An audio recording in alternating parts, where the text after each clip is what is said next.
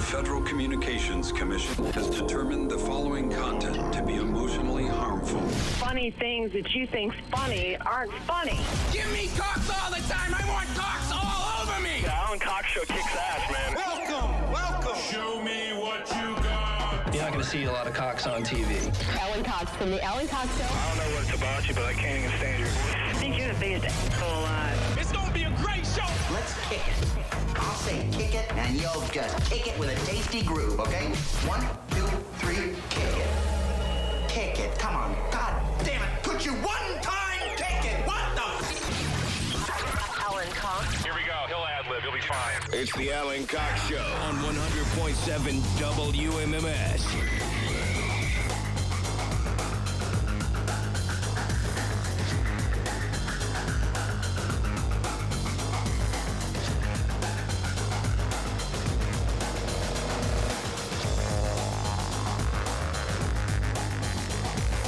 What's going on, gang? Good afternoon. Hi there. What's up? What's up? My name's Alan Cox. Thanks for being here. Welcome. Say hi to Bill Squire. He's right over there. Hey, creepy hood. Mary Santora's in Midtown Manhattan. Yo. Does your studio have a letter number on it? Do you know?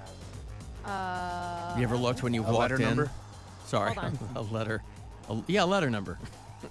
a letter designation. So we're in Studio C. All of our studios have uh, letter designations that, to the best of my knowledge, doesn't really uh, indicate anything other than There's nothing listed. Oh, yeah? A piece of paper Mhm. taped to the door that says reserved for Mary Santora. Hey, I like that. Now, is it handwritten or is it printed out? It is printed out. That's great. You've gotten yourself to print out sign status. Yes. First couple of days, it was probably crudely hand drawn, right? No, it's the same one that's been there the whole time, though. Ah. Maybe I'll get a plaque soon. Mm-hmm. All right. Uh, hey, if uh, you want to join us today, please, we'd love to have you. 216 578 1007. Well, I assume we'd like to have you. Um, but why not find out? 800 348 1007. If you're listening on iHeartRadio, you can uh, drop messages for us there. You can text if you like. That number is 35192. Everybody talking about O.J. Simpson dying. I guess I had forgotten that he had been. Uh, uh, when that news first broke this morning, I thought that maybe it had come out of nowhere, but I guess I forgot that uh, earlier in the year he had announced that he had uh, prostate cancer. And uh, boy, no quarter given for OJ. That's when you really, you know, all of the uh, all of the outlets and the media sources that up until then had kind of played, you know, pretty close to the vest with OJ. Either they would ignore him or, you know, uh, but all of the headlines today, like the the headline of the Drudge Report, was "Cancer Murders OJ." They're not playing around because, uh, sure, the guy was acquitted of double murder, but nobody really believes that he didn't do it. Well, because then he was so- also convicted of the civil in the civil trial. So civil trial and needed some time because of that whole sports memorabilia thing. But you know, you can uh, being convicted in a civil trial, and, and even years later, if you have watched any of the documentaries on the OJ trial, where a number of jurors, you know, uh, plenty of whom would go on to write books, but a number of jurors, because I guess they figured that enough time had elapsed where they could come clean, and they said yes. Uh, we came to that decision as payback for the Rodney King verdict. So it really had nothing to do at all. Uh, O.J. Simpson spent a lot of money on uh, his legal team at that time. Uh, they called him the Dream Team because he had the most high profile lawyers money could buy. He had, most of them are dead, by the way. Johnnie Cochran's dead. Robert Kardashian is dead. F. Lee Bailey, who I think came on, I think Johnnie Cochran was initially uh, hired by O.J. Simpson. I think they brought in F. Lee, this guy F. Lee Bailey, who, I mean, of course he's dead. I think the guy was like 80 when 30 years ago, but uh, one of the uh, regarded as one of the most tenacious and brilliant litigators of of his time. I remember my father when I was younger, young kid. He was reading a book by F. Lee Bailey, and of course I was a little kid, so I asked him who Flea Bailey was, and uh, of course uh, my father chuckled and looked down and tousled my hair and then said, Get the hell out of here and do not interrupt my book again. And I learned a lot that day because um, I felt it brought us closer together. F. Lee Bailey only died a couple of years ago. Uh, but he was also the guy, as a much younger man, I think he first came to prominence, little local flavor for F. Lee Bailey. He was the defense attorney for Sam Sheppard. The fugitive, the guy out there in Rocky River Bay Village who was accused of uh, Dr. Richard Kimble in the movie, but it was Sam Sheppard and F. Lee Bailey, who had been living in Rocky River in the 60s. Uh, he hired them to appeal Sam Sheppard's guilty verdict. They argued it before the Supreme Court. He argued that Sam Sheppard had been denied due process, uh, due process, and on uh, appeal, he got a not guilty verdict. And then, of course, uh, Harrison Ford would play him in the film, and they had a TV show and the whole thing. But Such um, a good movie. Oh, The It. Fugitive? Yeah, it's so good. Andrew Davis, great director. I don't know if, uh, what happened to that guy. He had a good run of movies. He had Under Siege uh, with Seagal, and he had The Fugitive, and blah blah blah. But um, yeah, Cancer Murders O.J. What did uh, Brad Williams, the comedian, what did he post? That was a good one. Uh, he he can OJ can finally rest in peace knowing that his wife's murderer is dead. Dude, people so do not care. no, They- the comments everybody's no got that right. exactly. It just Nor should they. Immediately. Yeah. There, uh, Blake Hammond, who's been on the show, he tweeted he was like, um, "Heard that cancer is re- re- heard that cancer is releasing a book called If I Did It." Dot dot dot. my uh, my buddy, I put this on my Instagram story, and it's uh, from my buddy AJ. It says uh, a live shot of cancer fleeing from police after being named a suspect in the death of O.J. Simpson. And Yeah. it's the white Bronco. Yeah. A lot of funny jokes. So everybody's making the jokes, but he did kill two people, and you know, obviously they go to Ron That we know of. Uh, they go to Ron Goldman's uh, uh, father. Was Ron Gold? Ron Goldman's the guy that he killed Yeah, allegedly. yeah. The father is whom? Uh, Mr. Goldman. Uh, anyway, he was like, "There's no such thing as closure. This just reminds me that this guy killed my son." And um, and uh, Nicole Simpson. Ron Goldman's. Oh, was his name Ron too? Oh, Fred Goldman. Okay, there you go.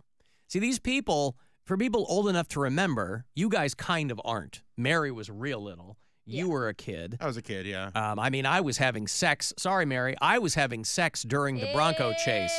Now, I want you to picture it. Um, I was having sex. uh, I, I remember it was the afternoon of June 17th, 1994. A girl that I hadn't been seeing for very long, redhead, named Gina, taking me to her apartment for a little afternoon delight. Breaking news. I seriously, I, again, Mary, I'm sorry. I'm like mid stroke when the Are you so disgusting? it's uh, it's not disgusting. It's a fact of life. It's mm-hmm. human nature. Mm-hmm. You know that we have mm-hmm. one purpose on this planet, right? And it's propagation of the species. I, I thought it was to gross out Mary. No, that's not the human. That's not Homo sapiens' one purpose. Nevertheless, uh, so that is the the primary element of the O.J. Simpson saga that is burned in my brain, is having to stop. We were on her couch, and um, and watch this Bronco chase. Um, now, did it? Uh, uh, did I lose uh, my uh, zest for the situation after that? No. Uh, got up, uh, got Actually, a lemonade. Made you a thousand times more erect. A no. Uh, now who's being gross? A thousand? Can you imagine a thousand times more erect? I'm no mathematician, but holy cow! You talk I about can now. going to see your doctor if it lasts for more than four hours. Youch! And then the trial famously lasted a couple of years, I believe. But um, you know, Fred Goldman said that uh, OJ's death is no great loss. Uh, but there's obviously no such thing as closure. I don't know if those people ever saw a dime from O.J. Simpson. He was, of course, supposed to give them lots and lots of money in that civil trial. I don't know how that uh, played out, but uh, O.J.'s gone and uh, uh, couldn't happen to a nicer guy, I guess. I got to take a break. You want to send me a text 35192 to get me that way. You can call us if you like. You can listen anywhere on that iHeart radio app. It's the Alan Cox Show. On our free iHeartRadio app and your favorite smart device. Just tell it to play the Alan Cox Show. On iHeartRadio. Our 2024 iHeartRadio Music Awards. Streaming now on Hulu. Find out what the winners had to say. Ladies and gentlemen, iHeart Innovator Award recipient, Beyonce. Innovation starts with a dream, but then you have to execute that dream, and that road can be very bumpy. Best new artist, Jelly Roll. To be the best new country artist and the best new pop artist. You don't know what this means to a kid like me. multi-award winner, SZA. We didn't succumb to the pressure of needing to have the perfect writers, the perfect producers. We just did us. iHeart Icon, Cher. From my own experience, if you have a dream and you stick with it, it probably will come true. Artist of the Year, Taylor Swift. iHeart, you've all just been so incredibly supportive over the course of my entire career, but especially this year has been pretty spectacular. And more. Plus, iconic performances live on the iHeart Awards stage. Our 2024 iHeartRadio Music Awards. Stream now on Hulu. Are you the decision maker in your company? Consider this. For the first time in decades, there's a better option for a corporate card and spend management platform. Meet Ramp, the only corporate card and spend management system designed to help you spend less money so you can make more. Most corporate credit cards offer points as incentives, but those points amount to less than they're worth in real cash value. Ramp's corporate cards offer you cash back, real money in your pocket. Plus, you control who spends what with each vendor, and Ramp software collects and verifies receipts automatically, which means you'll stop wasteful spending and close your books in hours instead of days. Businesses that use Ramp add up to 5% to their bottom line the first year. If you're a decision maker, adding Ramp could be one of the best decisions you've ever made. And now, get $250 when you join Ramp. Just go to ramp.com slash radio. Ramp.com slash radio. Cards issued by Sutton Bank and Celtic Bank members of DIC terms and conditions apply. The wait is over. The all new state of the art Spitzer Motor City Jeep Ram is here. We're celebrating our grand opening by giving you more selection. Now shop over 400 new vehicles and get more savings during the Jeep Celebration event and Ram Truck Month with additional Spitzer discounts, additional factory incentives, and huge trade allowances that you won't find anywhere else. Wag more, spend less during the grand opening of the all new Spitzer Motor City Jeep Ram, Cleveland's number one dealer. Revolves around you. You can use your phone at a doctor's office. You can use your phone at a football game. You can even use your phone at an amusement park. But one place you should never use your phone is behind the wheel. Fines now start at $150. So remember, Ohio, phones down. It's the law. With Spring Black Friday savings at the Home Depot, you can get up to $2,300 off select kitchen packages from top brands like GE Profile. That means you can save on a new GE Profile Smart Quad Door Refrigerator that's full of convenient features like a dual dispense autofill pitcher and an ice dispenser with up to 12 and a half pounds capacity.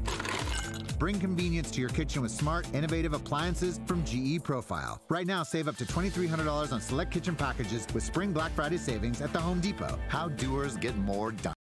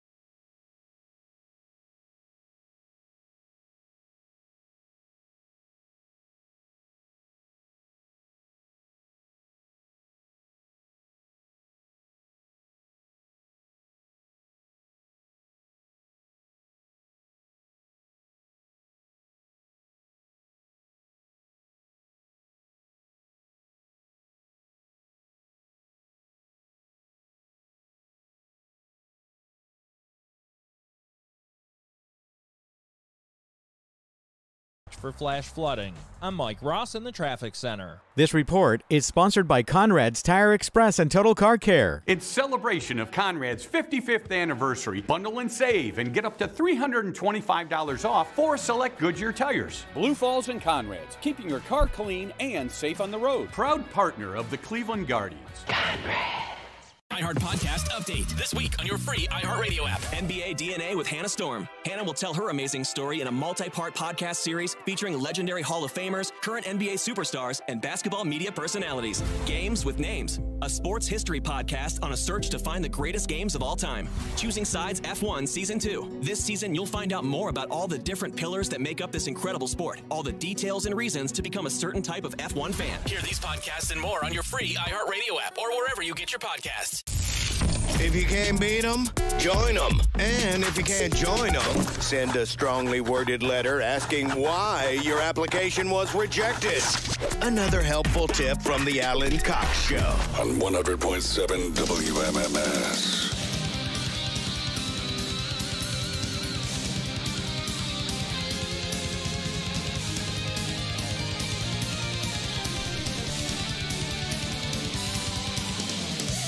Three five one nine two. Want to send a text? AlanCoxShow.com. Want to watch live? Tom uh, Green is going to join us a little bit later on.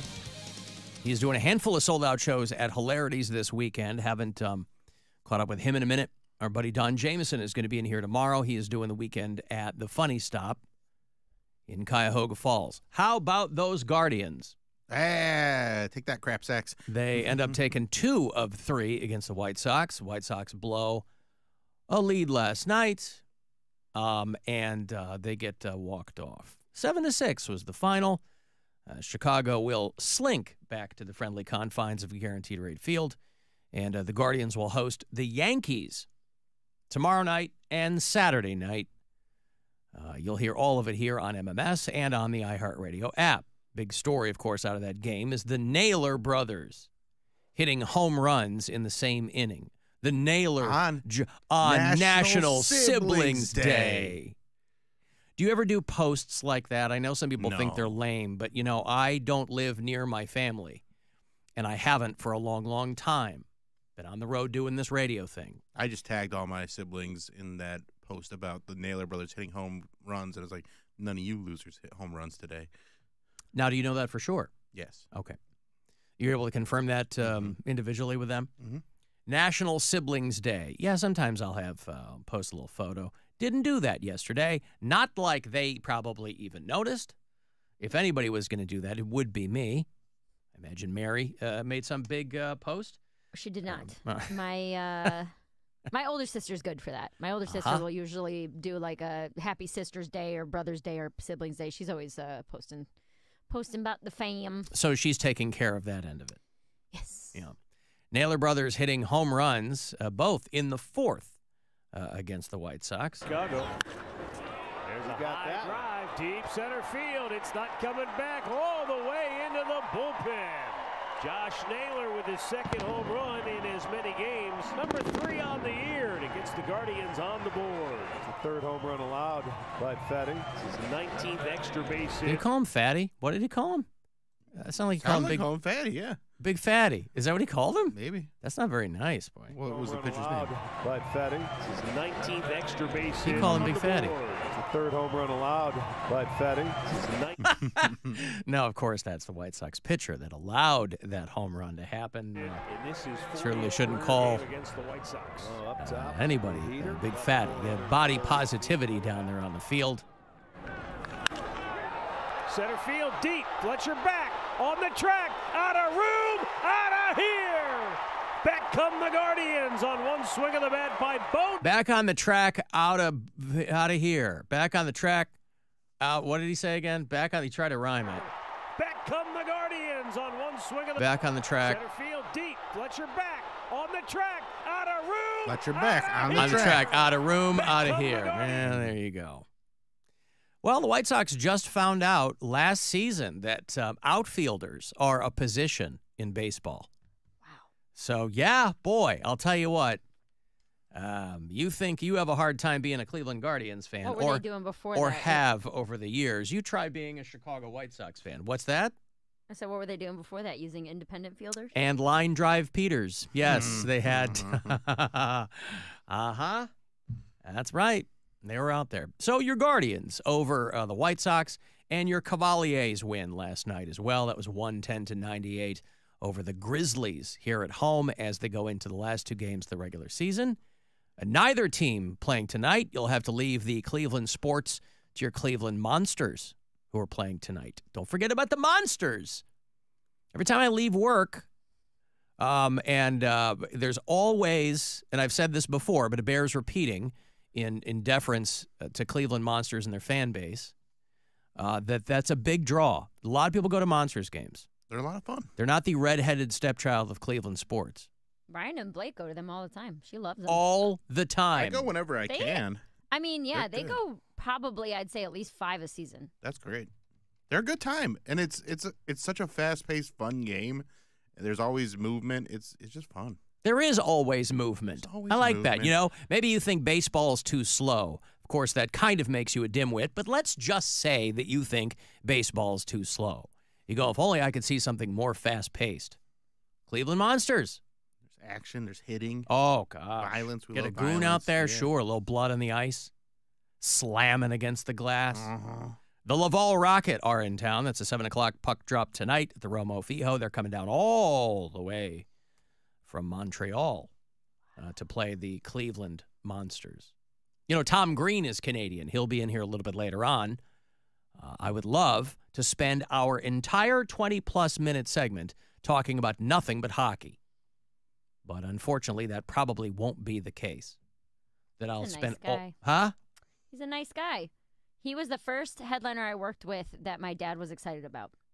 That made it like, oh, you're actually doing this. Oh, opening for Tom Green. I opened for Tom Green in Toledo. My dad drove out from Cleveland because that was like the first legitimate to my dad, the first legitimate comedian I had ever worked with. Now, to you, what was who was the first legitimate comedian you had opened for? I mean, all of them. When you're first starting out, everybody's famous. We're like, oh my god, I can't believe this guy can do 45 minutes. That's the craziest I thing see. I've ever seen. you know? but but but like famous where people would know who they were, or famous to you because you were a comedian. Tom Green was uh it was early on in my career. It was probably 2013 or 14. I was only a couple years in.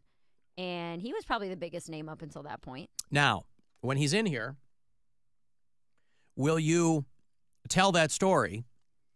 And then we'll take odds right now on if he pretends to remember. I think he'll remember me. We've worked together like 3 or 4 times. Oh, you have. Yeah.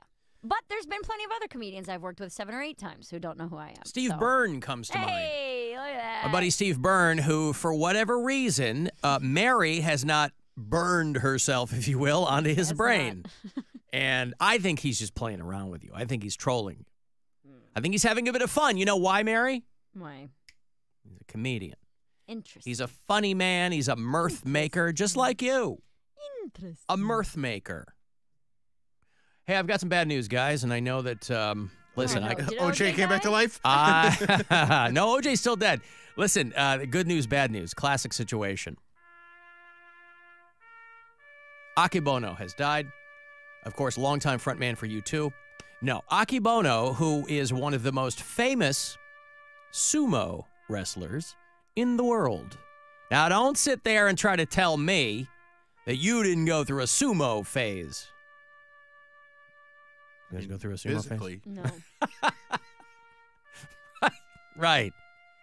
Uh, young man still, 54. That's a young man, Mary, 54 years old. Yo, nobody questioned it but you, all right? Practically a pup. Uh, he was uh, a proud Hawaiian. He was a giant in the field of sumo wrestling. Akebono Taro made history when he became the first non Japanese born sumo wrestler to take the title, to take the sport's highest title. This is a big, big deal, right? He was uh, practically gaijin. He was 54. Now, I can't, but again, I don't believe everything I read. You tell me that a sumo wrestler died of heart failure. I'm going to say, eh, this guy probably also made some enemies too. Uh, he was born Chadwick Rowan. That is a switch. You thought you had a wild stage name. I mean, you know, he took uh, he took on the mantle of the sumo. He was born in Hawaii and moved to Tokyo in the late 80s, and they loved him instantly because he was, you know, he wasn't a native. He was an outsider coming in and doing his thing. He was 6'8, 500 pounds My God. In the prime of his career. It's a vending Imagine any other imagine any other aspect of life where you could say, "Well, in my prime I was 500 pounds." Only sumo. Could you say that? Elephants. No, that's not their prime. I guess. What is the prime of an elephant? I don't know. They live a long time, I think. Do they? I know they What never about, like, forget. A tiger. How big are tigers? Are they more than 500 pounds? I mean, they're I not think some six might feet be. eight to- Heavy inches Yeah. tall, though. Tiger. If it stand, Mm, they stands might up on be its that back, long, yeah. 200 to 680 pounds is a male tiger. But still, what would be what would constitute the animal's prime? Midlife. Midlife. Like so if a if- tiger lives to be 20, yeah, probably 10, 10. 8, 8 to 12. He goes, "Man, when I was 10, I was killing the game." You got to do it in tiger years, though. Oh, They probably have something man. When I was dog 406, I don't know if it's that. Oh. The African bush elephant can live to be 70 years old. I was surprised. I, if I'm repeating myself, I apologize. But when we went to, we were in Orlando last week, and uh, my wife and my child swam with a dolphin, and they were part of this group. Um, and we were, of course, on the beach there and taking pictures or whatever. And there's a little informational session before you go out there because you got to get the wetsuit and the thing, and then they uh, talk to you. Uh, for for that guy, uh, lest he leave another message, by the way, the thing is the rest of the wetsuit, the maybe a glove or something like that. Anyway, I asked the lady how long dolphins live because I didn't know. For whatever reason, I had it in my head that dolphins didn't live very long. She said they had dolphins there that were 60 years old.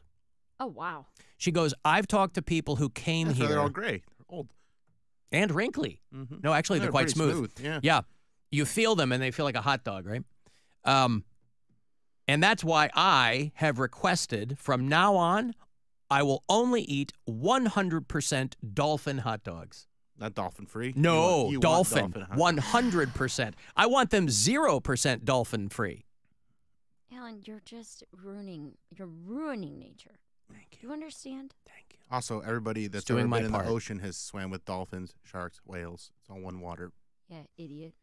Well, they held on to the fins, yeah? Well, that's different. So that you get. That- um, that's more intimate than the way I've swam with dolphins and whales. yeah, I don't know that I. we were just in the same uh, body of water for a while. Oh, I see. If they Yeah. were halfway around the, halfway around the world, you would have considered that you had swam with dolphins. Right. I It's in see. the same ocean. but that's not that's not with. Amongst. Not even amongst. Halfway around the world. It's with. It's the It's same, the same body of water. With? It's the same body of water. How is Huh. it not with? Interesting. And all their poop and stuff too. Okay. So are, like- are are are we living with with Irish people right now in Dublin? No, that's not the same continent. Separated. Uh-huh. Yeah. Separated. Oh, you mean because it's a body of water? Right. All the Hmm. oceans connect at some point. Okay. All right. I guess I think of with as maybe a, m- bit more proximity based. Might be onto something there. Would you like to know other animals that are I around? mean, we all seven live with each other on Earth, so it's like it's all about perspective. Uh, I'll tell you what, Bill. If only we could get our friends and enemies to come together and have that perspective, right?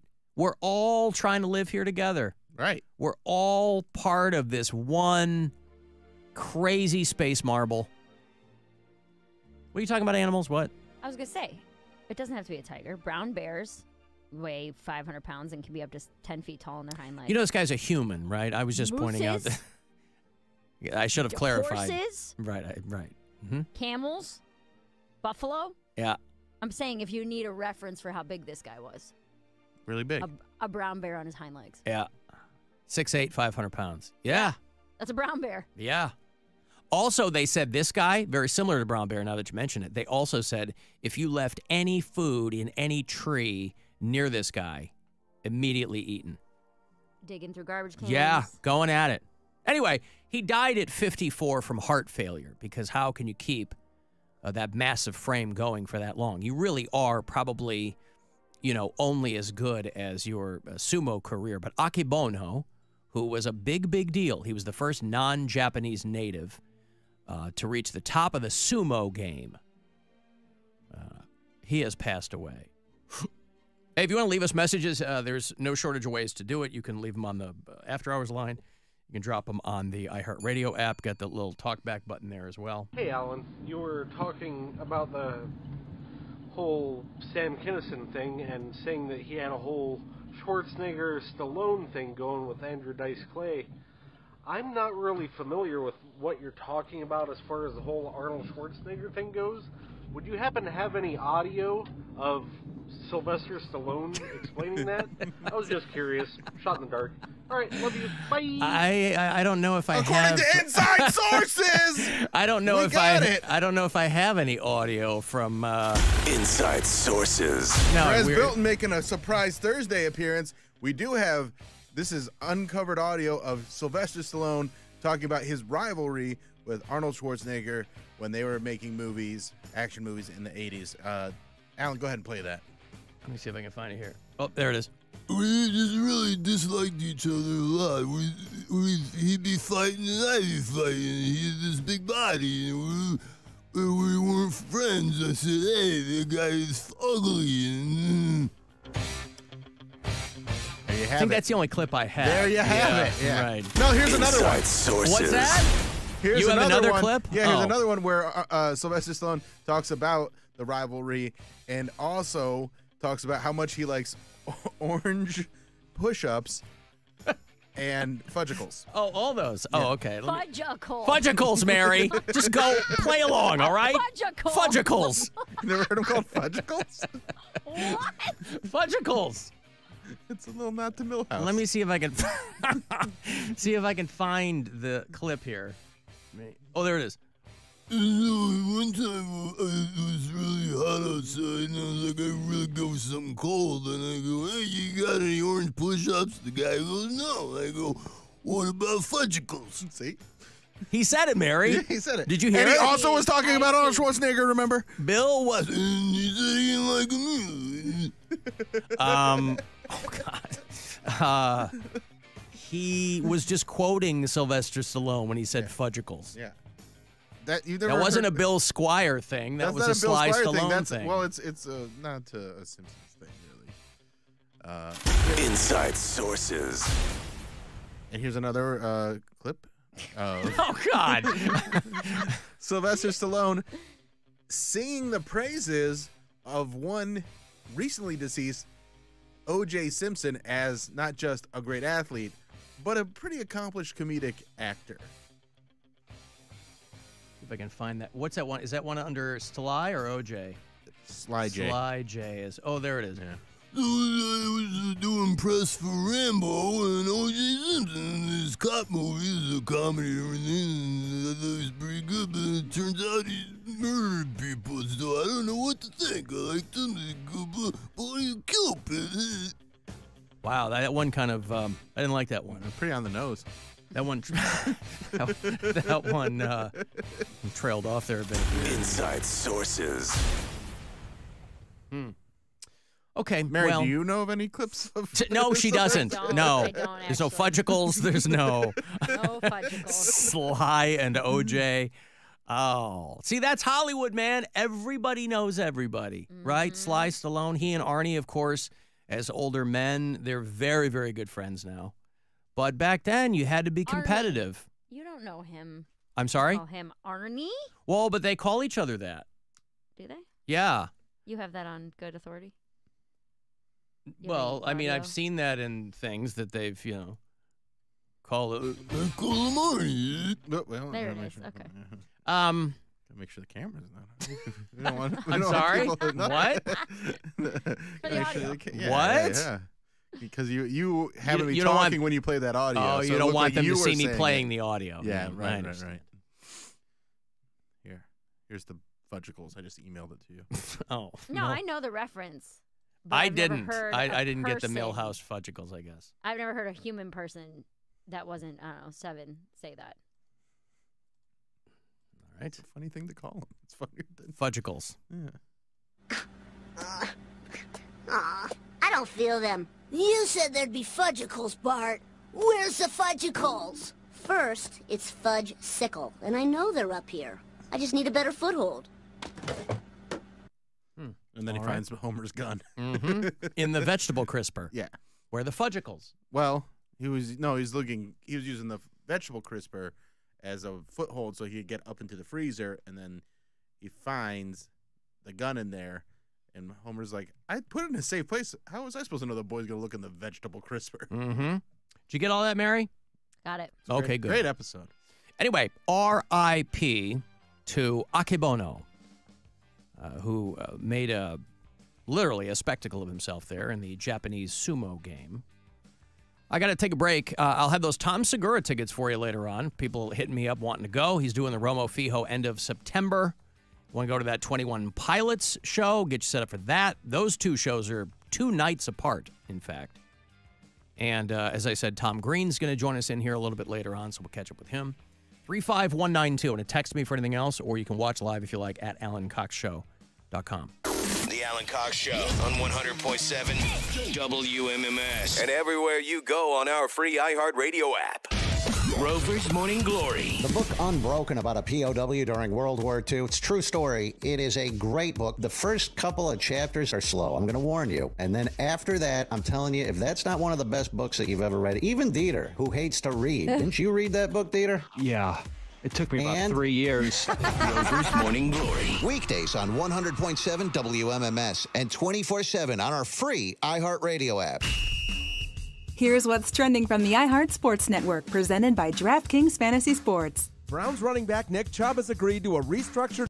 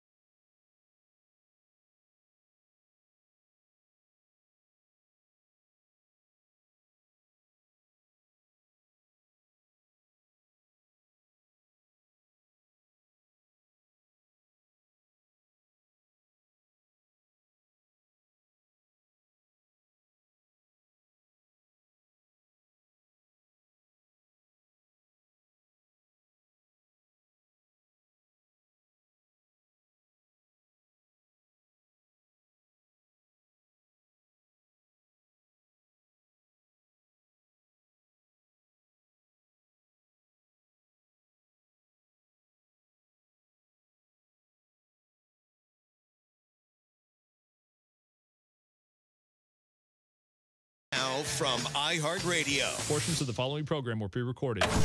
This is The Buzzard. From the Bath Authority Studios. The Buzzard. The home of the buzzard. Buzzard. This is 100.7 WMMS. Cleveland. Call the Alan Cox Show. Pay attention to notice the reverse of everything that is normal becoming abnormal. 216 578 1007 or 1 800 348 1007.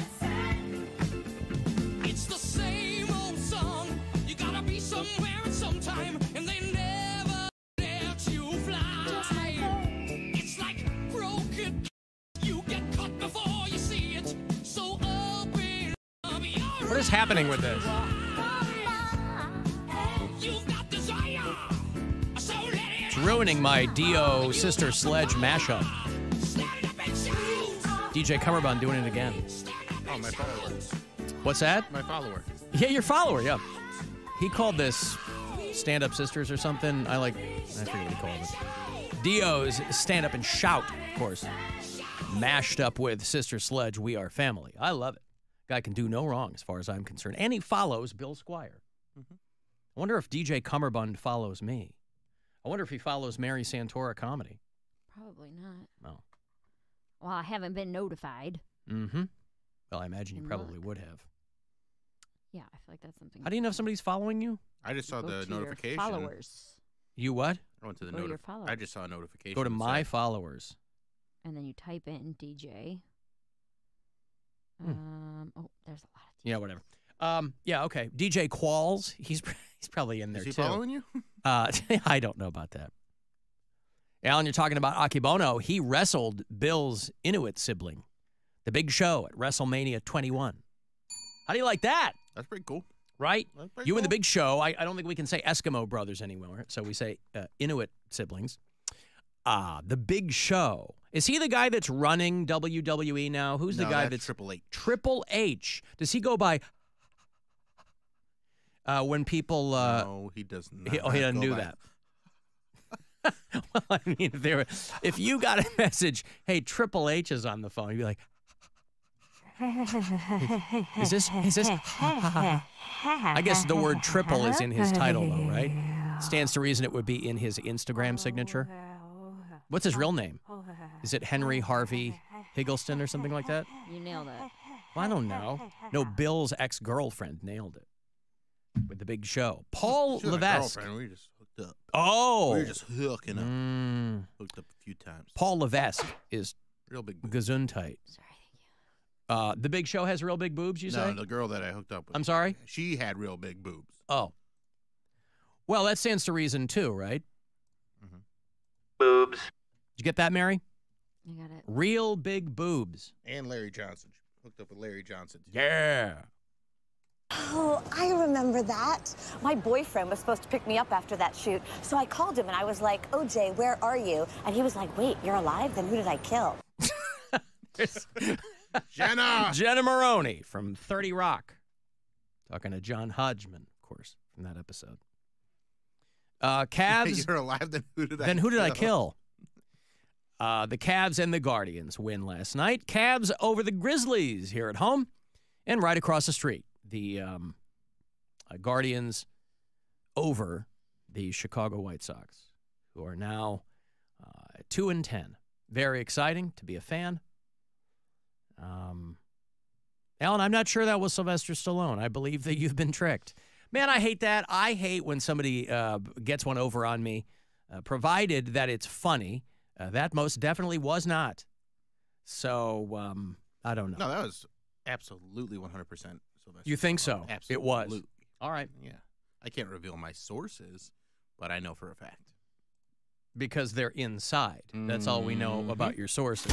Inside sources. I ain't, I ain't got no outside sources. Mm-hmm. I got inside sources. Hey, Drunk Sue. Hey, baby. Are you okay? I saw you left a couple of uh, voicemails on the after hours line. I was hoping that you weren't in some. Yes, I was hoping you I weren't in dire hold of you. straits. No, I'm okay, baby. I just wanted to talk to you and I couldn't get through. Oh well, that happens sometimes. Yes, I know. What's up? I mean, it rang, but nobody answered. Yeah. Anyways, in the last couple of weeks, um, I had hernia surgery That ter- hernia is removed. Wait, wait, wait, wait, wait, wait, wait. I have a feeling I'm going to have to take this piece by piece, if you pardon the pun. Hernia surgery. Um, I am not. I, I know vaguely what that is. I know there's different kinds of hernias. Is that where did they go in for that? Right straight down the abdomen, baby. Right straight down the abdomen. And okay, so you have um, you have like a scar down had- there. Oh, I get the, the staples out tomorrow and the and the and the drainage thing out tomorrow. Don't you love modern medicine? All the advancements we've made, and How for are some those things they in your brain, Mary? for some things they So still good. use staples. Love it. I know, right? Yeah, they just go. When I was a little kid, I, I used a stapler and I punched it against my thumb, and the staple went into my thumb, Mm-hmm. and then it didn't bleed or nothing. As soon as I pulled that staple out, oh my gosh, that thing bled like a sieve. Mm-hmm. I was like in kindergarten or first grade or something like that. I just fooling around. I didn't know it was going to happen. Understood. Yeah. Okay, so you have hernia Yeah. surgery and you're at home convalescing from that. Oh yeah, Mm-hmm. but I'm good. Um, I had it done on on Good Friday, which was the 29th, Mhm. and then on not that Saturday because I was in the hospital till Tuesday, and then the Saturday following, I went to go see Floyd live down Mhm. in Minerva, Yep. the Roxy. Oh, those guys are so good. You had a good time yeah, though. eight days out of surgery, man. I was down there looking at a concert. Mhm. yeah. Well, I, I get the vibe too, Sue, over the years that we've known you and talked to you, that you have had so many medical procedures that it's old hat to you. You're not sitting around the house uh, with your with your feet up. You're getting back out there and living life. That's right. Yeah. There's not nobody gonna tell me how to live. Well, she nailed it. Uh, exactly like the uh, right. Don't anybody tell you how to live because that's not the. That's right. Yeah, I understand. So you had surgery and now you're doing okay. Yeah, I get those staples and stuff out tomorrow. Um, sixteen of them, man. Mm-hmm. It was a pretty big slice they took out of the middle of me. Yeah. Uh, How does how does one get a hernia? Is that from heavy lifting or pushing too hard on the bowl? How does that? Ha- yeah. Okay. Yeah, I think so. Yeah. But I don't remember lifting anything that heavy that day.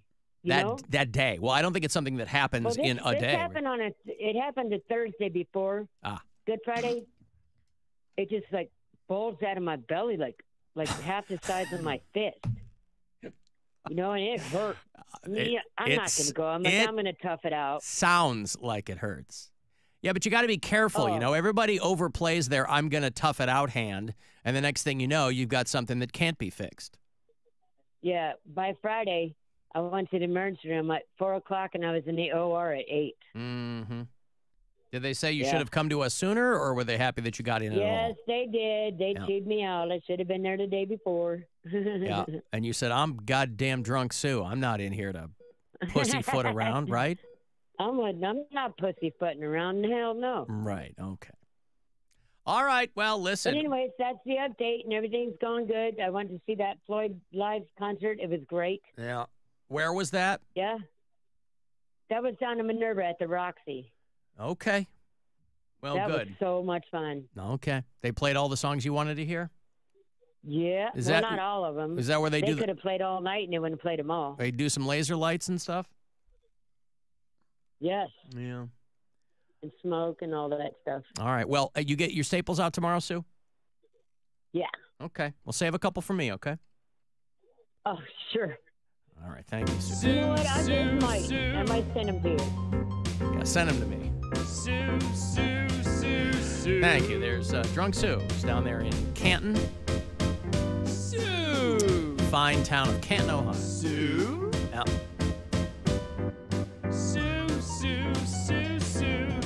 I was reading about the uh, country of Chechnya. If hip to Chechnya, this is um, the guy who runs that country is basically like a toady for Putin, right? He was like a Russian general or something, and so they're all in bed together or whatever. But uh, Chechnya, and again, I don't know how you would enforce this, but this is one of those countries that just comes up with stuff and then enforces it. Russia, Chechnya, uh, they have banned uh, music that is either too fast or too slow. Uh, I guess they're running out of things to ban over there in Chechnya. So uh, they are banning music in any genre that is either too fast or too slow. Their Ministry of Culture let people know that uh, all music should be limited to a tempo of between 80 and 116 beats per minute. Borrowing musical culture from other people is inadmissible. Now, if you know anything about uh, Russian music culture, oh man, is it good. You can't uh, swing a half eaten cat without running into something good. Remember Eduard Khil? Remember that guy? Now, I don't know how many beats per minute this is. I if this would be banned in uh, this current regime.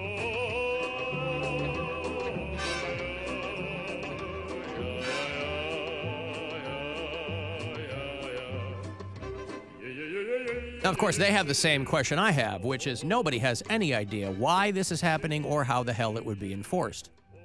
But uh, Russian media telling people that they have until June 1st to rewrite any any music that doesn't uh, conform uh, to 80 to 116 beats for, per minute. Boy, this is really going to put a spear in the heart of the uh, Chechen techno club industry, right? There's a lot of songs that would not be able to get played over there, including Texas Hold'em. Everybody's favorite Beyonce song. Everybody loves Texas Hold'em from Beyonce. It's too fast. Can't play that anymore over there. Texas Hold'em is 110 beats per minute, which means Too much. nope, it's too fast. You can't play Staying Alive. Imagine a world without Staying Alive. Staying Alive is 104 beats per minute. Can't play that one either. Stairway to Heaven is too fast. Believe it or not. Of course, towards the end there, maybe they'll just play the beginning of Stairway to Heaven.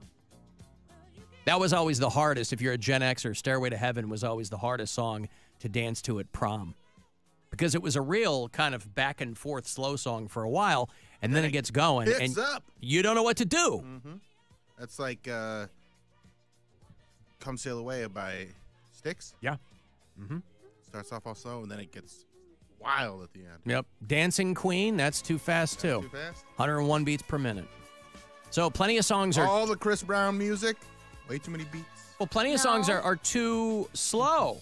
These are songs that are just too fast. But think about the songs that are too slow. Like Wait, you can't what's play The, what's the range that we're aiming 80 to 116 BPM. 80 to 116. So don't worry, be happy, which obviously I don't think anybody's ever heard this song in Chechnya or Russia.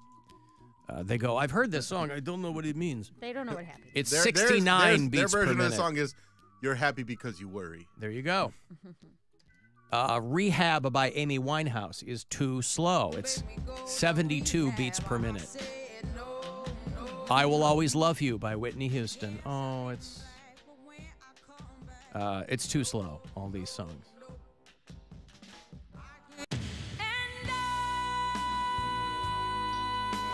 Sixty-eight beats per minute. I feel like I used to know somebody that liked that song a lot. I've never. No, I'm not familiar. I mean, the song is so old that I don't know. Doesn't ring any bells. The thing is, she was more than just a crackhead. True, mm. yeah. Hotel California, Britney Spears Toxic. Smells like Teen Spirit Nirvana. Now, again, these are just examples. I guarantee you none of these songs are getting played anywhere in Chechnya. But let's say, I, I don't know the depth and breadth of, let's say, Taylor Swift's tour plans. I don't think she's doing Chechnya, but she might be doing Moscow. I don't know. I made, I played you a couple yesterday the AI compositions. Oh, yeah. I got a couple. Uh, uh, Scott sent me an Alan Cox show AI composition, a song about the show, and it was, and so I took it upon myself to compose a couple of AI songs for Bill and Mary about them. So Mary's was great. It's so good. It was the ballad, not the ballad of Mary Santora. I took a couple of passes at him. The one that we liked uh, was the one that was called um, Double, Double Lunch Lunches. and Goodwill Yeah. Finds. Right. Double lunch and Goodwill finds. Yeah, I took a couple of passes at a Bill Squire song, and I think I might have landed on one. Okay. This is called Sneakers and Finger Boogers. All I typed in was, uh, I, t- I think I typed in loves sneakers and his dog, friends with grandma. I think I typed gazebo in there. Uh, so it's called, they called it, because they give it a name, sneakers and finger boogers. Bill Squire's got a love for his dog and his sneakers. Rocking like a boss. Grandma's best friend, she's his number one. They stay catching rays, having fun in the sun. He's dyslexic, a little misunderstood. but he's always keeping it real, doing what he should. Gazebo master boogie with his fingers. Hates paperwork, but his swag lingers. Yeah. G- Farts his farts, no shame in the game. Keeping it funky, no need to explain. But when the bass drops, he's on the floor. Getting down, showing off those moves galore. Yeah, so farts is Galore, farts. yeah. Gazebo master, boogie with his fingers, hates paperwork, but his swag lingers. This is all very true. It's not bad. not bad at all. That's it's no uh, double lunch and good. No, no, no. Mary's is the good yeah. But it's the- I, it's much better than the original you. made for yes, me. the the um, boobs trains and high end Yeah, coffee was yeah. the first pass, but um, double lunch and Goodwill finds is In pretty. a small New York town, Mary's on her grind. She's a comedian, make folks laugh all the time. From open mics to late night Now, just uh, I'll continue this, but who does this sound like, Mary? I mean, this could be anybody. Well, to your ear, you have the refined country music ear. If you were like, "Oh, this new banger from fill in the blank is pretty I good," don't. I can't. I mean, it doesn't sound enough like anybody. that I would because say. it's basically so AI has taken yeah. all of the It's country too voices. generic, yeah. Okay. From open mics to late night shows, she's got the skill. But when the day's done, she's got her own hillbilly thrill. Love hillbilly thrill so much. At lunchtime, Mary ain't like the rest. She grabs a double portion. She's always blessed. She stacks the plate high with comfort food so fine. Hear rock country music playing. It's her kind of dive. Chorus. Double lunch and goodwill finds that's Mary's way. Laughter and country music making her day. No fancy stores or expensive taste. That's for sure. She's living high off a double lunch and thrift store scores. so good. Yeah. So. hmm. That chorus is unbeatable, man. Yeah, it's really really good. Double lunch and Goodwill finds. Yeah, that's Mary's way. I like Plate that. stacked high with comfort food. Yeah, she d- grabs a double portion. She's always blessed. Ah, comfort food so fine. Well, there you go. So, um, it took another pass at the Bill song. Tried to do an OJ song, but it made him sound too nice. Yeah. Because a lot of these generative uh, AI websites, they don't, you know, they block a lot of stuff out. So if your keywords are like murder or boobs, or, you know, I, I got boobs into your song, but I wanted to do an X rated one. It wouldn't do it. I can't. So you'll always have Compose double like lunch and. Goodwill finds. Um, you know, if you want this to be your walk-on music from here I on feel out, like I'm I sure you should, got- yeah. honestly. Mm-hmm. In a Pretty small good. New Ah, York you don't want town. your walk-on music to overshadow anything you ever do. My walk off music. Yeah, there you That's go. what plays at the Yeah. end of the show. There you go. Yeah, yeah, I think that's better. Your walk-on music would overshadow you. That song. Uh, that's what Bill is saying. That That- that that- that, that, that song's song would better o- than anything I've ever written. Anybody. oh, Well- anything anybody's yeah. ever written. I'm well, just also putting it on when you. you, um, uh, if things move forward with this management company, that can be the theme to the TV show. I think that they are. Yeah, I mean, Bill and I wrote. Uh, obviously, everybody loves Mayor, but they're not going to want anything to do with that because obviously that's this show's IP. It's They're going to want They- something They can't make money off that. correct. They can buy you it from guys us. already killed it. They can buy it. Yeah. How much? Have your people talk to my people. Hmm, we'll send an email. Hmm. I sent in a. Um, they actually, the manager sent me a voiceover audition for a popular streaming service, and I sent in a uh, audition for it yesterday. Is that the old lady So- role? Yeah. Did I already tell you guys about this? Yeah. Oh, well, I recorded it after work. How did I tell you about it already? Mm, She's very quick. you did. By the way, devotion to accuracy, because I am terrible at math. It's just that I read that thing wrong about that Chechen music band. Some of the songs I was playing were the ones that would fit. So, like Oh. Staying Alive, Stairway to Heaven, those are all within that range. Oh. But the slow ones, like Rehab and I Will Always Love You, and then the fast ones, like, you know, those are ones they're like, no more than Nirvana, you know. But yeah, you're going to get Dancing Queen up the ass for the next, uh, for the foreseeable future there. If you, were, and again, we don't have a Chechen bureau chief, uh, but there might be some uh, people of uh, Chechen extraction. Got a lot of Eastern European uh, immigrants in this part of the country, so maybe there's something in there. So, how does Bill know something that you didn't tell him? I don't know. You I'm told like, I us must have- yesterday at the end of the show. You Oh, said, I don't know if I can talk about Well, I'm just saying. You told us.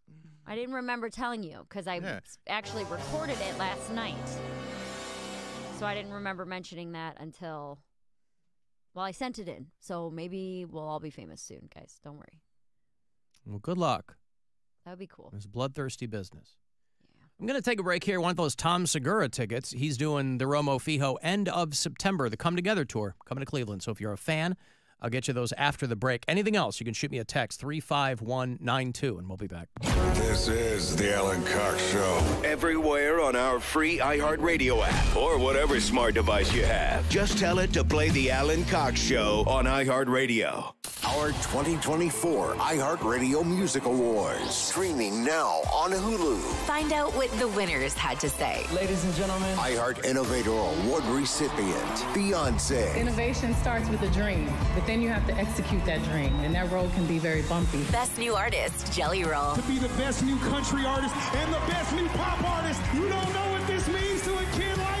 Multi award winner, SZA. We didn't succumb to the pressure of needing to have the perfect writers, the perfect producers. We just did us. iHeart icon, Cher. From my own experience, if you have a dream and you stick with it, it probably will come true. Artist of the Year, Taylor Swift. iHeart, you've all just been so incredibly supportive over the course of my entire career, but especially this year it's been pretty spectacular. And more. Plus iconic performances live on the iHeart Awards stage.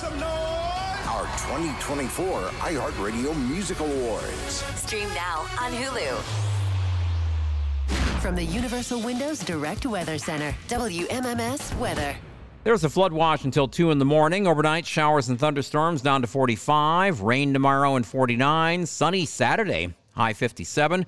Chance of rain again Sunday, high 70. This report is sponsored by Pella Windows and Doors. Refresh your home this spring and give it a whole new look with replacement windows and doors from Pella. Take 50% off installation or pay nothing for 24 months. 877 98 Pella, PellaCleveland.com. Are you the decision maker in your company? Consider this. For the first time in decades, there's a better option for a corporate card and spend management platform. Meet Ramp, the only corporate card and spend management system designed to help you spend less money so you can make more. Most corporate credit cards offer points as incentives, but those points amount to less than they're worth in real cash value. Ramp's corporate cards offer you cash back, real money in your pocket.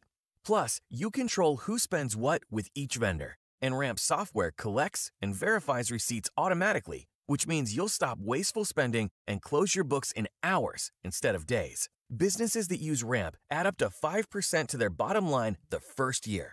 If you're a decision maker, adding Ramp could be one of the best decisions you've ever made. And now, get $250 when you join Ramp. Just go to ramp.com slash radio. Ramp.com slash radio. R-A-M-P dot com slash radio. Cards issued by Sutton Bank and Celtic Bank members FDIC terms and conditions apply. Getting quality employees to fill positions in your company is essential, but finding those people can be a major hassle unless you use ZipRecruiter. ZipRecruiter makes finding quality people a breeze. ZipRecruiter's advanced technology identifies candidates with the right skills, sends you great matches, then you can easily invite them to apply. Four out of five employers who post on ZipRecruiter get a quality candidate within the first day. See for yourself. Go to ziprecruiter.com slash free to try ZipRecruiter for free. That's ziprecruiter.com slash free. Hey guys, Stansbury here with the weather warming up and the weekend not all that far off. That's when we get the time to ourselves to do what we want. Maybe head out to the lake, pull some fish into the boat. And this feels like a perfect opportunity to remind you about the Busch Light Tackle Box packs. Those are available at your local retailers right now. You can grab them throughout March and April. And those Busch Light Tackle Box packs featuring four different fish types on those cans crappie, catfish, bass, and mahi mahi too. You can see yourself already, right? Out there on Edgewood Pier, rod in your hand, Busch light in the other.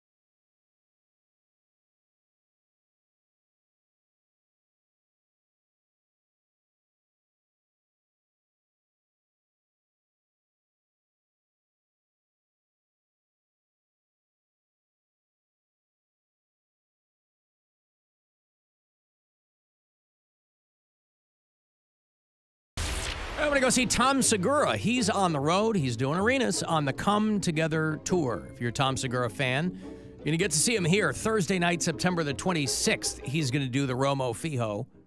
You go straight to tomsegura.com for the details, tickets, info, everything else. Maybe you can't see him here. Maybe you'll have to travel. But if you want to see him in Cleveland, I got two tickets for you. Be caller 10, and you'll go this fall. Good luck. 216 578 1007 or 800 348 1007. Now we come to a very important section, one that everyone dreads, or is embarrassed by, or tries to avoid completely. The Alan Cox Show on 100.7 WMMS.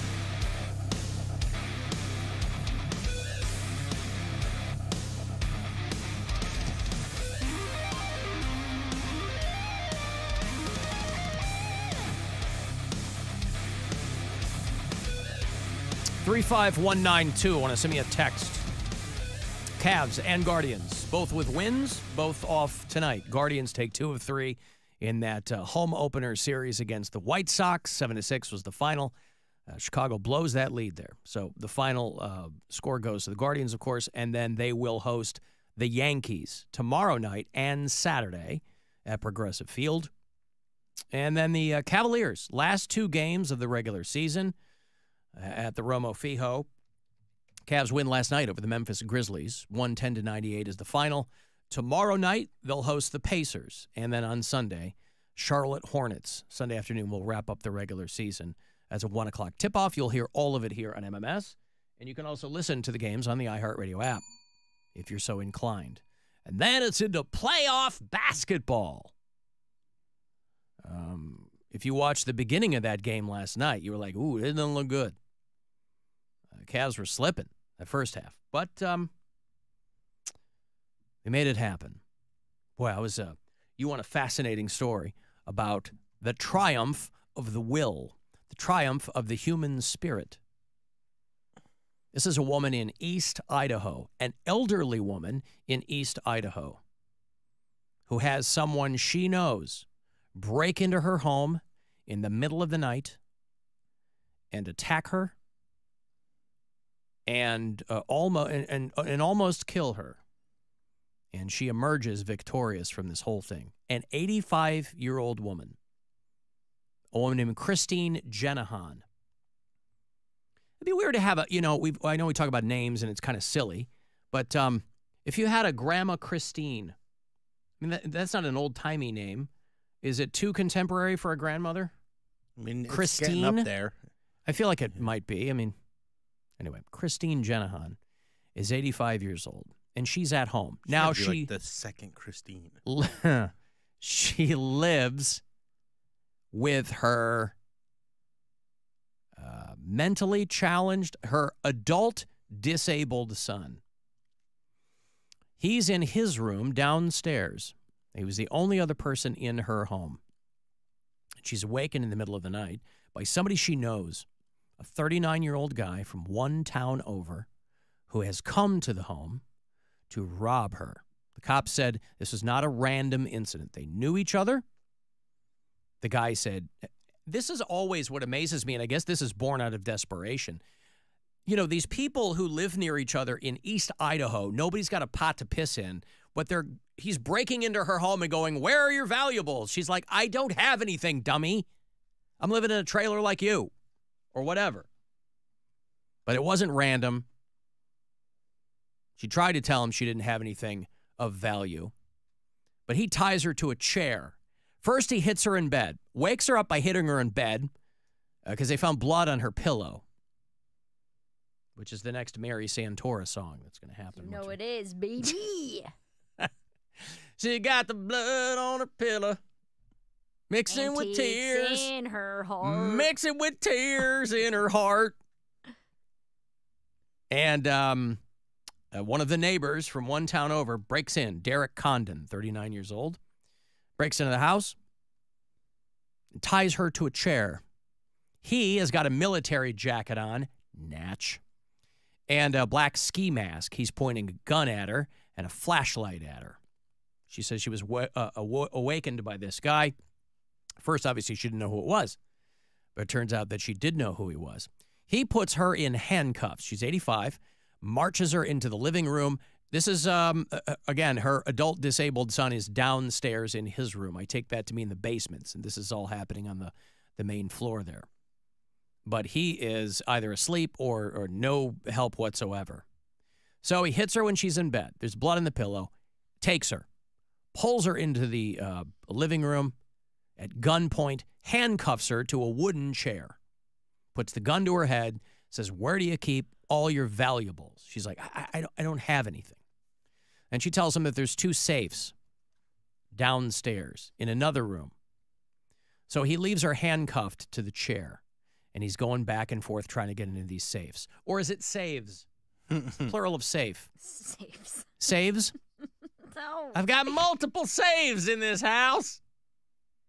And he's rummaging through the house. So then he realizes that her son is in the home and he yells at her for not telling him. He thinks it's just him and her. He's screaming at her. He says, I'ma kill you. And he's pointing the gun and the flashlight at her, and he's got her tied to this wooden chair. So he goes downstairs again. She drags the chair she's tied to into her bedroom. She had a 357 under her pillow. She's 85, and this is East Idaho. She went back into the living room while he's downstairs, scoots the chair back, hides the gun between the armrest and the cushion of the couch. He's got her tied to a chair next to a couch. Are you picturing all this, Mary? Of course I am. Okay. Because I, I, I won't lie to you, I kind of am too. You have to. Um, and but the woman is dazed, but she has the presence of mind, the wherewithal to get into the room, get the gun, come back. She wants to know what he's going to do next, so she's waiting, and he's rummaging through the house. And she said she ultimately decided it was now or never. He comes back into the room. She pulls the magnum out of the couch, shoots him twice in the chest. He's got a nine millimeter. He returns fire. he pow, hits pow. he hits her in the abdomen, leg, ah. Arm, and chest. She takes four rounds. She's an 85 year old woman. The guy stumbles into the kitchen. He's just taken two 357 shots to the chest. He dies in the kitchen. The woman, still alive and still tied to the chair, sat in the living room for 10 hours because her adult son didn't know what was going on. He's disabled. They don't they don't describe the the uh, you know the situation there. But 10 hours later, the son comes upstairs and gave her a phone to call 911. Oh yeah. She kills this guy. 85. This woman is beaten and battered and shot four times, and she kills the guy. and nobody on the scene is like, yeah, well, now we got to prosecute. They're like, this, if there was any kind of justifiable situation, this is it. He must have been a terrible shot. If she shot him twice and killed him, and he's hitting her all but over after, the place. you, yeah, but you're knocked fully back. A 357 Yeah. Magnum is like a hand that's true, cannon. that's true, yeah. Yeah. And he's going pink, pink, pink, pink. You know, he's just Yeah. whatever. Uh, they searched the dead guy's body. He had a lockpick set, his car key, a handcuff key, and a bag with the items he had stolen. He was by himself or didn't have a co conspirator. They said it was truly incredible that this woman survived the encounter. Now, she probably doesn't have much longer. This is one of those things, you know, they talk about how old people who can otherwise be in really good condition, it just takes one domino to fall and a bunch of other ones will fall. You know, like a lot of people die from falling at home, which doesn't sound like a big deal, but if your bones are like pretzels and you hit your cranium on the counter, you know, they're like, well, she's alive, and then you're in the hospital for a month and you die. So this they pulled the four bullets out of her, but she's 85. But what a story. Saves herself, kills the guy. That's why you never know who you're dealing with, especially in East Idaho. Man, got to be careful. Stop or my mom will shoot. yeah. Estelle Getty style. Oh, man. Oh, I got to do a quick thing here. Uh, we have a new sponsor. This hour is sponsored by Creamer versus Creamer. Did you get the, did they send you the free samples? The, I'm lactose intolerant. no, I got no creamer versus creamer samples. But tell us all about it. I'll just read what they sent. Still carrying around an uncovered coffee mug like a friggin' troglodyte? That's the copy? I'm just reading it what they wrote. I'm Yeah. just asking. Yeah. That, that seems Yep. uh, aggressive. Well, they get the brand of this show, Bill. You know, that's why they came to me and said, Would you care to? And we have a lot of other advertisers that don't seem to get the brand. That I keep telling them. I know. I keep telling them. Creamer versus Creamer gets it. Uh, uncover coffee mug. That's an invitation for a disgruntled coworker to pop off in your Java when nobody's looking. Now with Creamer versus Creamer, no more spewing your brew. It's a coffee additive that neutralizes whatever hint of human emission might have been unwittingly added to your beverage. We hear these kinds of stories all the time, right? So this is a direct response to those kinds of stories. Uh, creamer versus creamer. I don't know what the website is. They didn't put that in there. Uh, but it said it comes in four great cl- uh, flavors vanilla hazelnut, not semen, and mint chocolate. So look into that. I asked them to send you some uh, samples, but I guess they did not. So uh, thank you uh, to Creamer versus. Creamer. Have you been creaming in my coffee? I didn't know you drank coffee. I do drink coffee. I know you like, His well, not here at work. I've fancy never. coffee. Uh, you like fancy coffee. I've never I seen think you, I, I, I drink coffee, but not, not, uncovered. every day. But I mean, I put a lid on it for sure. No. I, I don't know. Sometimes I leave it in here when I'm maybe going to the bathroom or something. Okay. No, no, no. No, but we hear these stories all the time, Mm-hmm. right? They're like, oh, this woman, it tasted strange. And so she took it to the whatever. So uh, look for, and thank you. They sponsored this hour of the program, Creamer versus Creamer. And um, appreciate that very much.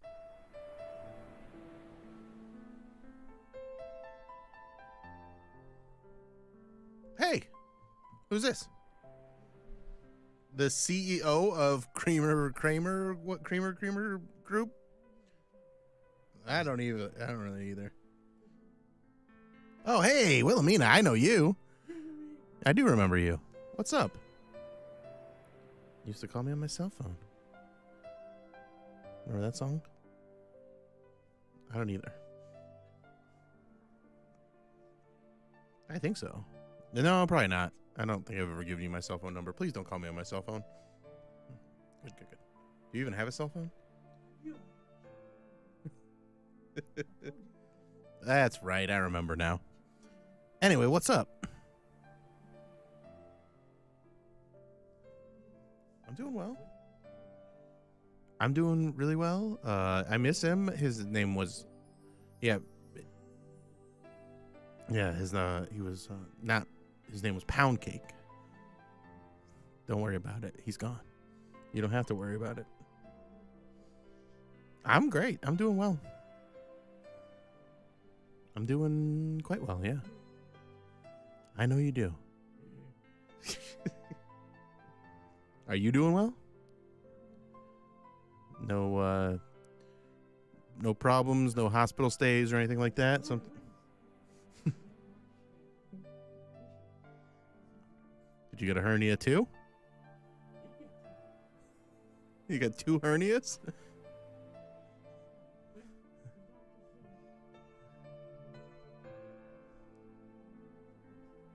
yeah. Okay. Do you know what caused them? Can you tell us?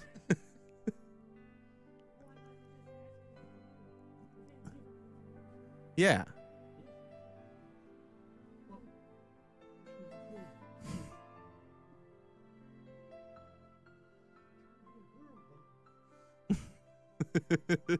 yeah, those hernias caused by putting the her in hernia, right?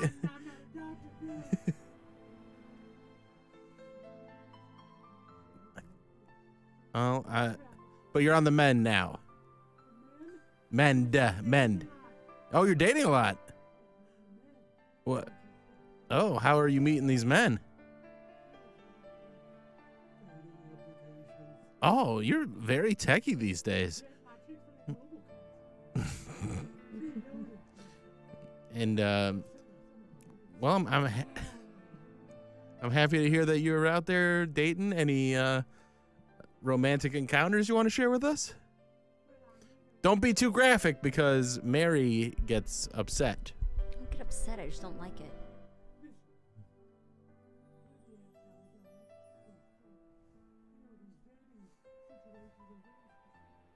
Mm-hmm.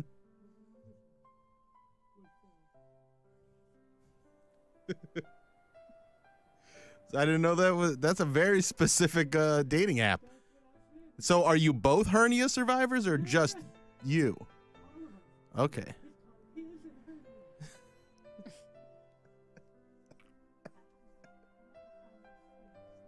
What's his name?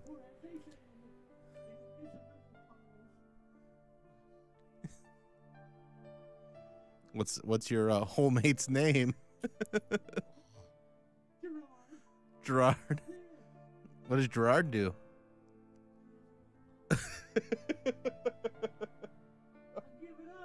Mm. No, that's uh, a. well, I'm happy to hear that you and Gerard are uh, so happy together. You got your. Where'd you guys go on your date?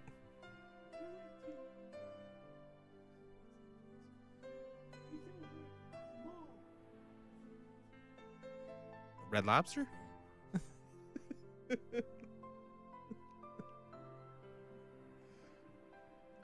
oh, you're there for Shrimp Fest.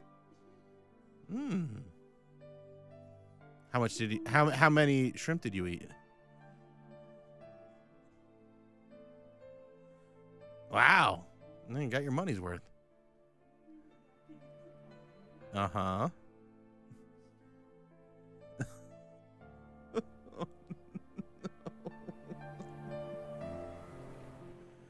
okay, bye. Bye. Good. Yeah, wow. I've been replaced.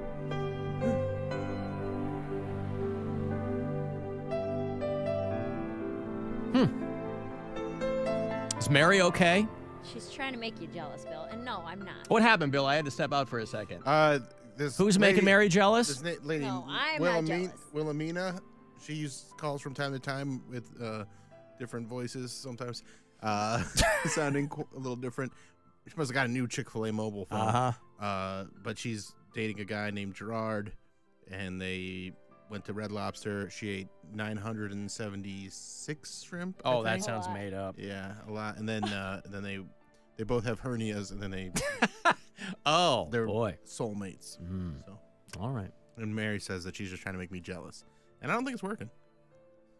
Well, good. Jealousy is a useless emotion. Right. Never fall prey to envy. You know what they say, Mary? Jealousy is swallowing poison and waiting for the other person to die. That's what they we that's what say- they say. We say, drink the poison to kill another. The proverbial poison. Alan, I was shot with a 357. Thankfully, it went through the trunk, back seat, front seat, and was in my chest, just missing my spine and aorta. For a headshot, I'd have been splattered all over the windshield. Boy, I want to know more about that story. Oof. That's crazy. Mm. Alan, make sure you're never treating Bill's coffee like a 2008 Toyota Avalon. no, again, I didn't. Uh, I didn't know that. I don't, I don't think Bill ever has uncovered coffee in here. And I definitely never will. Well, you got nothing to worry about with me. I mean, you and I are the only two in here, uh, and until 1.30, I'm the only one in here, so I wouldn't worry about that. I've uh, got to take a break. If you want to send me a text, 35192 to do that. AlanCoxShow.com. Want to watch live? Want those 21 Pilots tickets? A lot of people hitting me up. When are you giving those away? I'm giving away around 350. So after this break, I will hand those off. You can see them this fall at the RoMo FiHo. The Alan Cox Show on 100.7 WMMS and everywhere you go on our free iHeartRadio app. Next week, all bets are on. The Buzzard Bookie returns with nine chances a day every weekday to win $1,000 on 100.7 WMMS. Brought to you by Jersey Mike Subs. Here's my Jersey Mike's radio idea. I'm a ninja warrior. By night, I walk unseen. By day, I'm at Jersey Mike's, where they freshly slice my sub just for me. My blade is called Shadow. Theirs is called Meat Slicer. Jersey Mike's, a sub above. Your afternoon drive is brought to you by the Ken Ganley Auto Group, Ohio's number one automotive retailer. Hey, it's Charlie here for Mr. Rooter. There's nothing worse than a plumbing or drain problem when you don't have a plumber available to fix it. For the past 30 years, people have been trusting Mr. Rooter with their drain and plumbing problems. They offer same day service no matter where you live, seven days a week. Most people cannot wait two or three days to solve their plumbing issues. That's why I called Mr. Rooter. And right now, they're offering a $95 drain cleaning special, but you have to act fast. Call Mr. Rooter today, 855-MISTERS or mrrooter.com slash Cleveland. Start clean with Clorox because Clorox delivers a powerful clean every time. Because messes happen. Because. Hey, listen. Remember how you told me to toss those takeout containers before we left for vacation? And you were like, I'm serious. If that leaks over the counter, it'll be a slimy abomination by the time I get back. And I was like, yeah, yeah, yeah. Of course. Don't worry about it. I won't forget. well. Ooh, yeah, that happens. So start clean with Clorox. Use Clorox products as directed. Rinse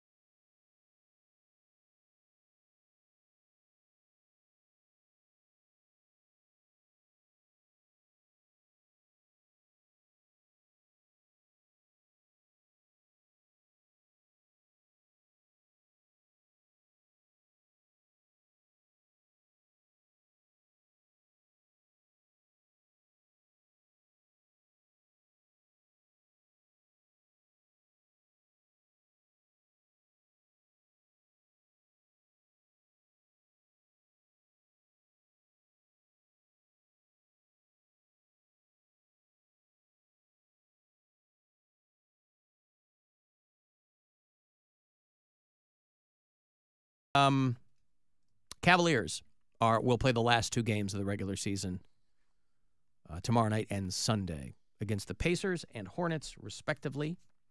If you are watching this show at AlanCoxShow.com, thank you to Mugly Sunk Mugly Sunk Muffin.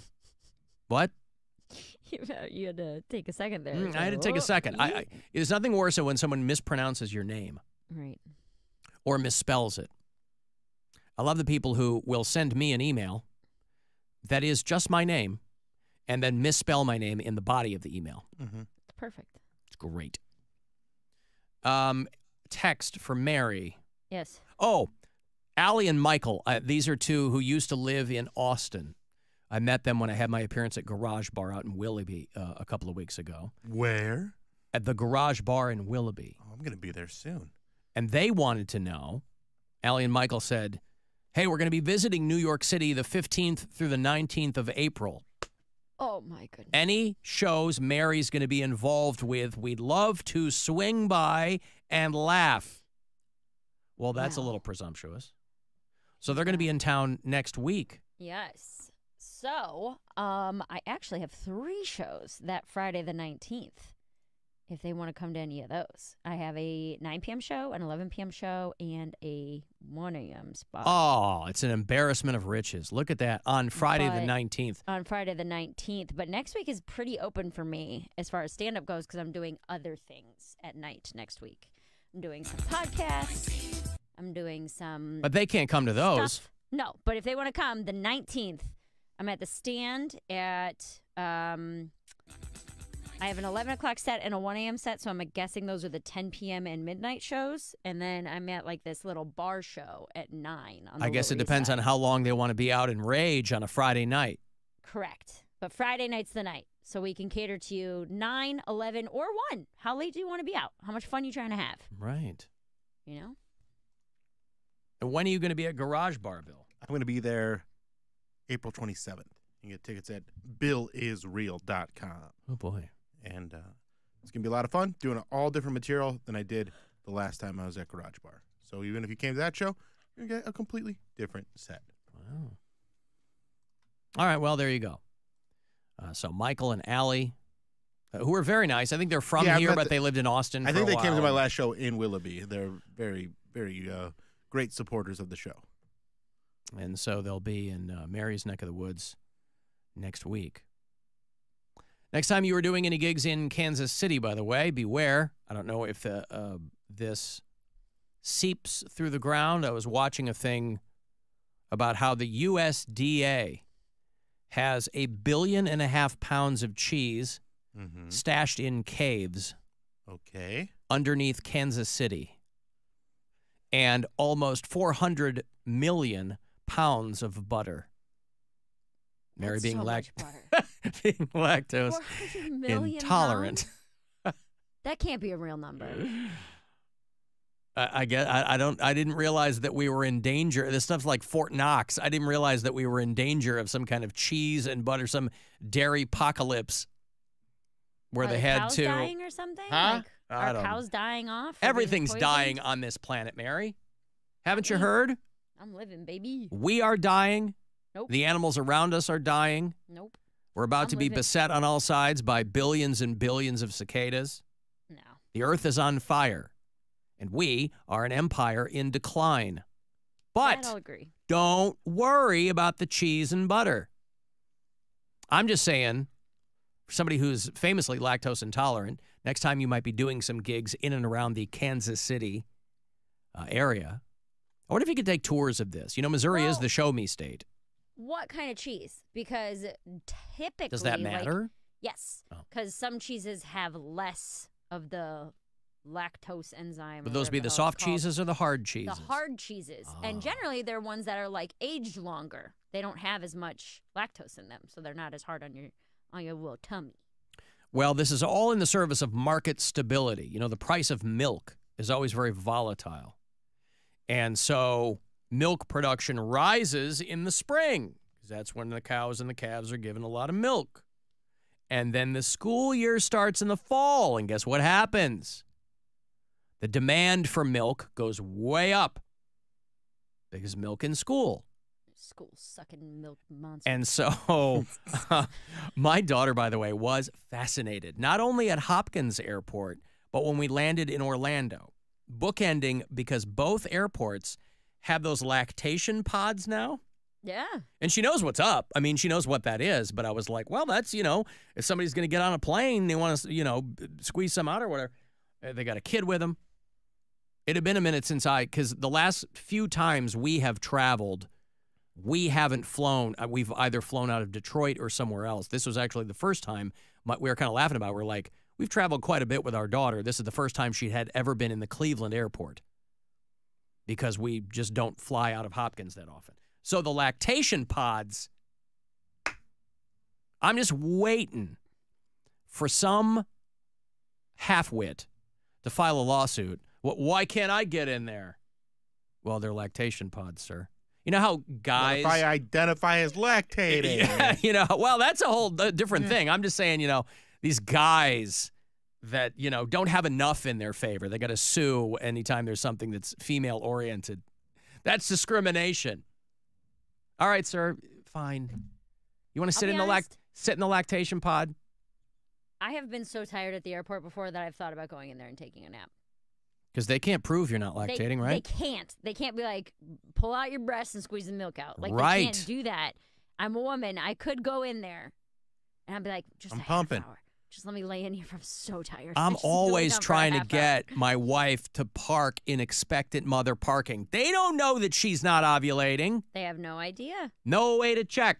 But it also doesn't mean that you are expecting to become a mother. You can just be an expectant mother, like a mother who what I'm expects a lot How? out of your children. yeah. That's how My mother was so expectant of us. Right. Her expectations couldn't have been higher. Finally, they've given her some parking priority. Held us to such a high standard. Yeah. Yeah. But you'll notice, given that example, they don't have similar parking spots for put upon children.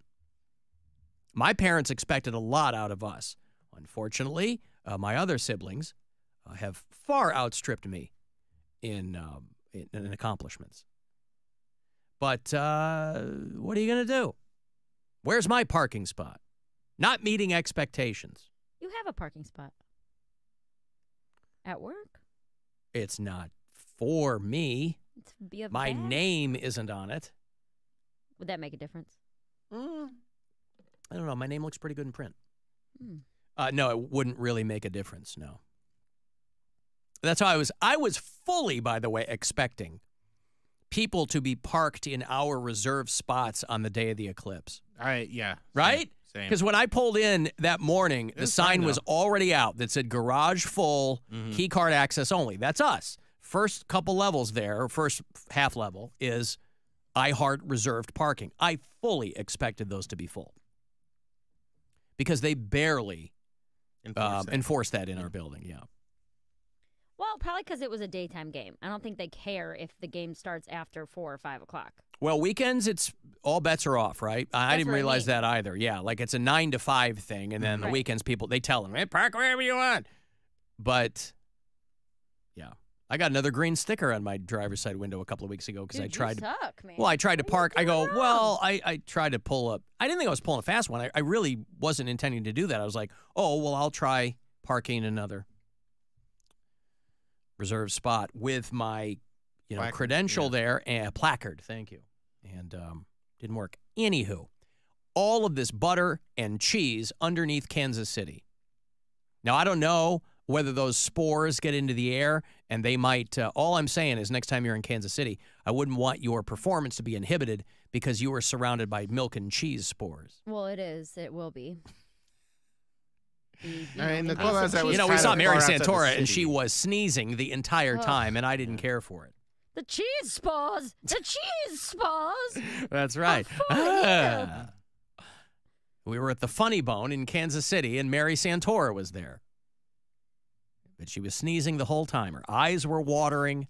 I'm not allergic. Huh? like I'm not allergic like that. If anything, I'd be bloated. She was, Man. yeah, but that's less. Bloated and farty. That that's less visually noticeable. Nobody's going to go, "Whoa, she was bloated." They don't know what you look like. But allergic, if you're I look like- presenting that way, Veruca Salt. Yes. Do a blueberry. I want an Oompa Loompa now. Or actually, I'll look like a wheel of cheese. So in the late 40s, the USDA introduced something called the Dairy Product Price Support Program, or the. And uh, they have these caves underneath Kansas City. You know, the best cheese comes from caves. Cave cheese, yeah. Cave cheese. Mm-hmm. Cave aged.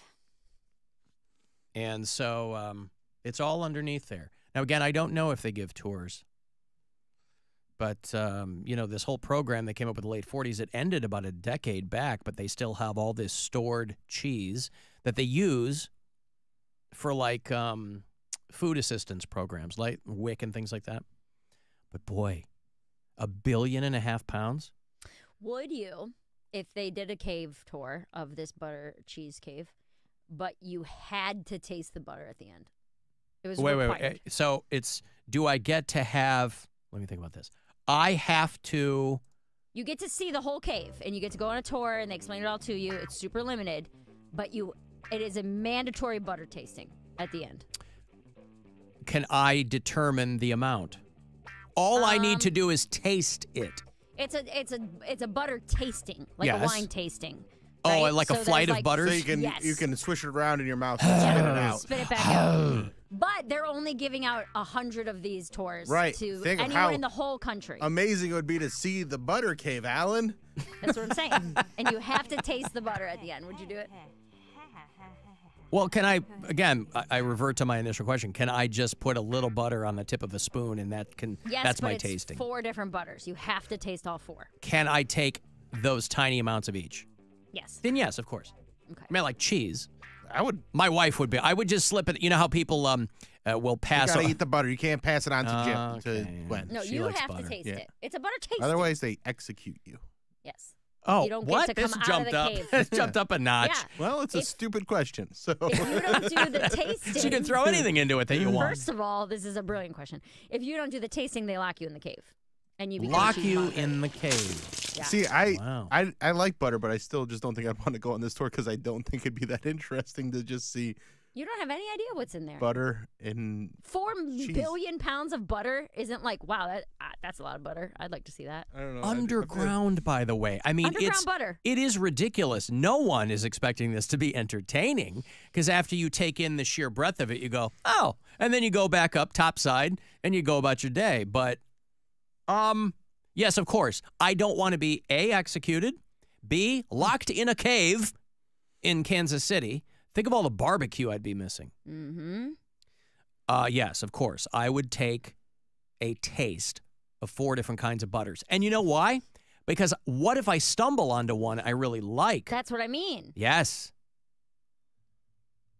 Yeah. People are always saying you got to try new things. I don't necessarily believe that. Once you find what you like, stick to it, live your life. But there's a chance, right? Maybe I just haven't found the right the right butter. butter. Right. Mm-hmm. So, just uh, FYI, uh, with those cheese caves there, uh, there's some weird stuff going on. Maybe there's a tour to be had. I don't know. I got some kids' corner. It ain't easy being a kid.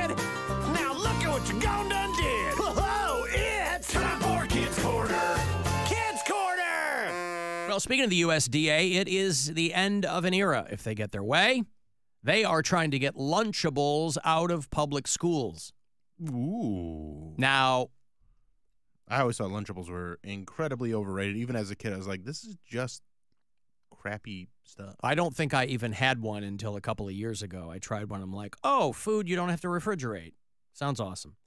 Um, it turns out, you're never going to believe this, it turns out it may not be the healthiest option. No. But I'll tell you what, this is a fool's errand, and I love every time they do it. This was Michelle Obama's cause celeb, right? When she was the first lady, she was trying to get kids to eat healthier, and they were trying to, and everybody screams and cries that they're trying to force their kids to eat produce or whatever. Don't tell my kid. Uh, but the USDA is like, there's too much lead, by the way, like you're eating goddamn paint chips, lead and sodium and all kinds of other stuff. They're like, Lunchables should not be on school menus. Now, they're not there because they're healthy, they're there because they're cheap. And that's all that matters with schools. what part of it has lead in it? The meat, the crackers, the c- candy, the Capri Sun. Probably like, all which- of it. Probably all of it. Uh, troublingly high levels of lead and sodium. They said, We don't think anybody should be regularly eating these products and certainly not in schools. So they're trying to get. I don't even remember what kind of Lunchable I had. I know They- there's a ton of different ones, right? Like, No, oh, really? there's like six. Oh, There's turkey, ham, bologna, uh, pizza, nachos. I I think that I'm not even kidding. I think that might be it. okay. I can't name another one. I'm Those looking at I'm looking at a picture. They have one called Natural, Oscar Mayer Natural, that looks like it's got a couple of Triscuits and maybe some cheese that has less crap in it. Turkey and cheddar. There's a thing that looks that's called pizza, but it looks like a stack of tiny crackers with Dude, some. I love pizza Lunchables. It's like uh. but none of these are wafer. refrigerated, right? You just pull them off a shelf. No, shelf. they're refrigerated. Oh, They're are they really? Yeah. Oh. What are the ones that you pull off the shelf? Like they're so processed, they're not even required to be refrigerated. I've There's never stuff like seen that. Yeah, I I don't know of any other ones. I might be missing one, but turkey, ham, uh, bologna, pizza, nacho. Okay. And you And had the these on the regular as a kid? Oh yeah, but they used to be like ten for ten. You used to be able to get, and then after that, the original Lunchable, they started to include the ones with the Capri Sun and the cookie or the uh, candy bar. The the original Lunchable is just like meat, cracker, cheese. That's it. Okay. And then they included like the lunchbox version that had the drink and the dessert in it as well. And Mm. those were like three bucks. All right. Really splurging on it. Uh, they said that the uh, tests on these Lunchables exceeded, uh, had relatively high levels of lead, sodium, and cadmium. You know, stuff they make batteries with? Right there in the Lunchables. How do you think kids get energy, Alan? Uh, you got to plug batteries in, right, Mary? Yes, Uh, that's how they get their electricity. Yes. Cadmium, of course, is a human carcinogen. You know, there's people who end up with bone cancer because of cadmium exposure, but throw it in the Lunchables. I'm sure it's a byproduct. I doubt they're making things with cadmium. Yeah, they're them. not like adding it. They're like, oh, these are a little short on cadmium. Ah, it's a very expensive ore. You know, countries are going to go to war over cadmium mines because of all the cell phone batteries that need to be made. Eric, hello. I know what you're going to say, but go ahead and say it. Right there in the It was Violet Beauregarde who swelled up like a blueberry. Yeah, I Oh, knew it you're as soon as I said you're it. right. Yep. My bad. I should have known that. That was me. Yeah, I should have I have apologize. too. Thank you, Eric. Violet Beauregarde, of course, became the giant blueberry. Veruca Veruca Salt. Salt was like kicking her feet and screaming, and she was like that. I uh, want it now. I want to Oompa Loompa now. Yeah. She went down the goose egg hole. right. She's the petulant little British girl. Yes. Also in Kids Corner, they are bringing back Yo Gabba Gabba. Remember Yo Gabba Gabba? I never. I know that it it with the w- was a show. I know. Yeah, I was too old for it, but my older kids loved it, and my, I mean, the little one now, My- when she was little, she loved Yo Gabba Gabba. My kids watched it a little bit, but it, they were by the time I came around, they were kind of growing out of it. Yeah, it's just fun though. I mean, adults could watch it, and it felt like a you were kind of tripping balls, but it was, you know, they had uh, DJ Lance Rock. He's not going to be doing it now because I think that guy's like 65 years old. They've replaced him with a 12 year old girl. But they're bringing back all of the original Yo Gabba Gabba characters. It's called Yo Gabba Gabba Land, and this is going to be on Apple TV. It will premiere on Friday, August the 9th for people. I know how much people love nostalgia. Uh, so it might be worth uh, checking out. Because back in the day, Yo Gabba Gabba, it was on Nickelodeon. Yo Gabba Gabba had DJ Lance Rock, who was the main guy. But like Biz Markie was the sidekick. Remember Biz Markie was on there? And they had the Aquabats. And they just had like these bands, like Weezer was on Yo Gabba Gabba. And they'd have My Chemical Romance and these, you know, grown up bands, but they would play these, you know, pithy little songs. Reggie Watts would be on it. Huh? No, it's live action. But they have like I had like characters or Muppets or it does like giant stuffed characters, but there's people inside them.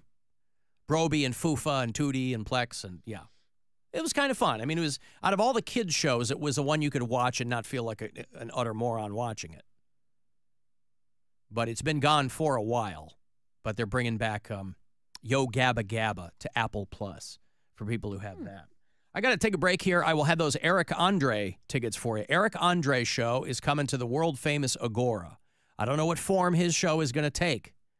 Uh, but that's for you to find out. June 15th is when that's going to go down. I'll have those tickets for you after the break. It's the Alan Cox Show. Everywhere on our free iHeartRadio app. Or whatever smart device you have. Just tell it to play the Alan Cox Show on iHeartRadio. Our 2024 iHeartRadio Music Awards. Streaming now on Hulu. Find out what the winners had to say. Ladies and gentlemen, iHeart Innovator Award recipient, Beyonce. Innovation starts with a dream, but then you have to execute that dream, and that road can be very bumpy. Best new artist, Jelly Roll. To be the best new country artist and the best new pop artist, you don't know what this means to a kid like me. Multi award winner, SZA. We didn't succumb to the pressure of needing to have the perfect writers, the perfect producers. We just did us. iHeart icon, Cher. From my own experience, if you have a dream and you stick with it, it probably will come true. Artist of the Year, Taylor Swift. iHeart, you've all just been so incredibly supportive over the course of my entire career, but especially this year has been pretty spectacular. And more. Plus, iconic performances live on the iHeart Awards stage. Our 2024 iHeartRadio Music Awards. Stream now on Hulu. From the Mr. Hero I crave the hero. Weather Center. WMMS weather. There's a flood watch until 2 in the morning. Overnight, showers and thunderstorms down to 45. Rain tomorrow and 49. Sunny Saturday, high 57. Chance of rain again Sunday, high 70. This report is sponsored by Allstate. You're in good hands. Some people just know there's a better way to do things, like bundling your home and auto insurance with Allstate. Why make things harder than they need to be? There's a better way to save time and money. Visit allstate.com or call for a quote today. Your afternoon drive is brought to you by the Ken Ganley Auto Group, Ohio's number one automotive retailer. Hey there, it's Alan for Window Nation. I'm the same as you. I see and hear a billion different window company commercials. The reason I tell people to choose Window Nation is because they are all about paying attention to detail, right? They're in your home, they're measuring your windows three times to ensure the proper fit. You go online, going to find out they have a 96% customer satisfaction rating. That means people are saying, they do it right the first time. They're not coming back and forth fixing something. Experience. Each installer have average of over 10 years experience. Windows are all they do, right? You can buy some amazing windows. If they are not installed properly, you are out of luck. That is the secret sauce. So Window Nation out there using top of the line materials. They're made here in Northeast Ohio. They back them with a lifetime warranty. In fact, right now, they will give you two free windows, no limit, for every two you buy and there's no payments for you at all for two years. So go to Window Nation. I've got their windows in Akasa Cox. They are the experts. They look awesome. Never worried about them at all. WindowNation.com to start or call. Give them my name, 866 90 Nation. You can schedule your free in home estimate today. Lifetime warranty on Window Nation windows, and you can get two free ones for every two you buy and no payments for 24 months. Go to WindowNation.com. Start clean with Clorox because Clorox delivers a powerful clean every time. Because messes happen. Because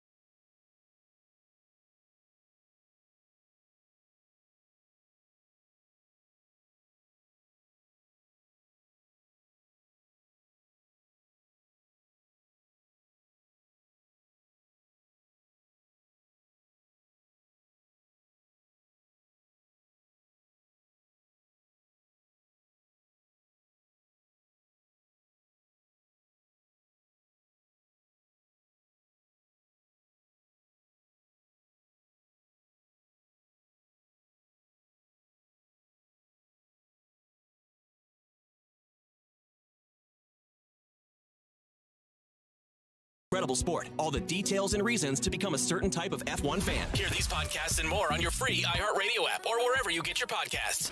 It's time to give stuff away. Hey, hey, it's free stuff for you. All right, I want to go see the Eric Andre show. I don't know what form it will take, but he's coming to Cleveland this summer. The Eric Andre show at the world famous Agora. It is Saturday, June the 15th. You can go to agoracleveland.com for all the details, tickets, info, all that. You will get this pair from me right now to see him this summer. I'll be caller 10. Good luck, 216 578 1007 or 800 348 1007. If he sounds super excited to see you, hey, what's up? Remember, he is a paid performer. As a broadcaster, he's real good. Alan Cox on 100.7 WMMS.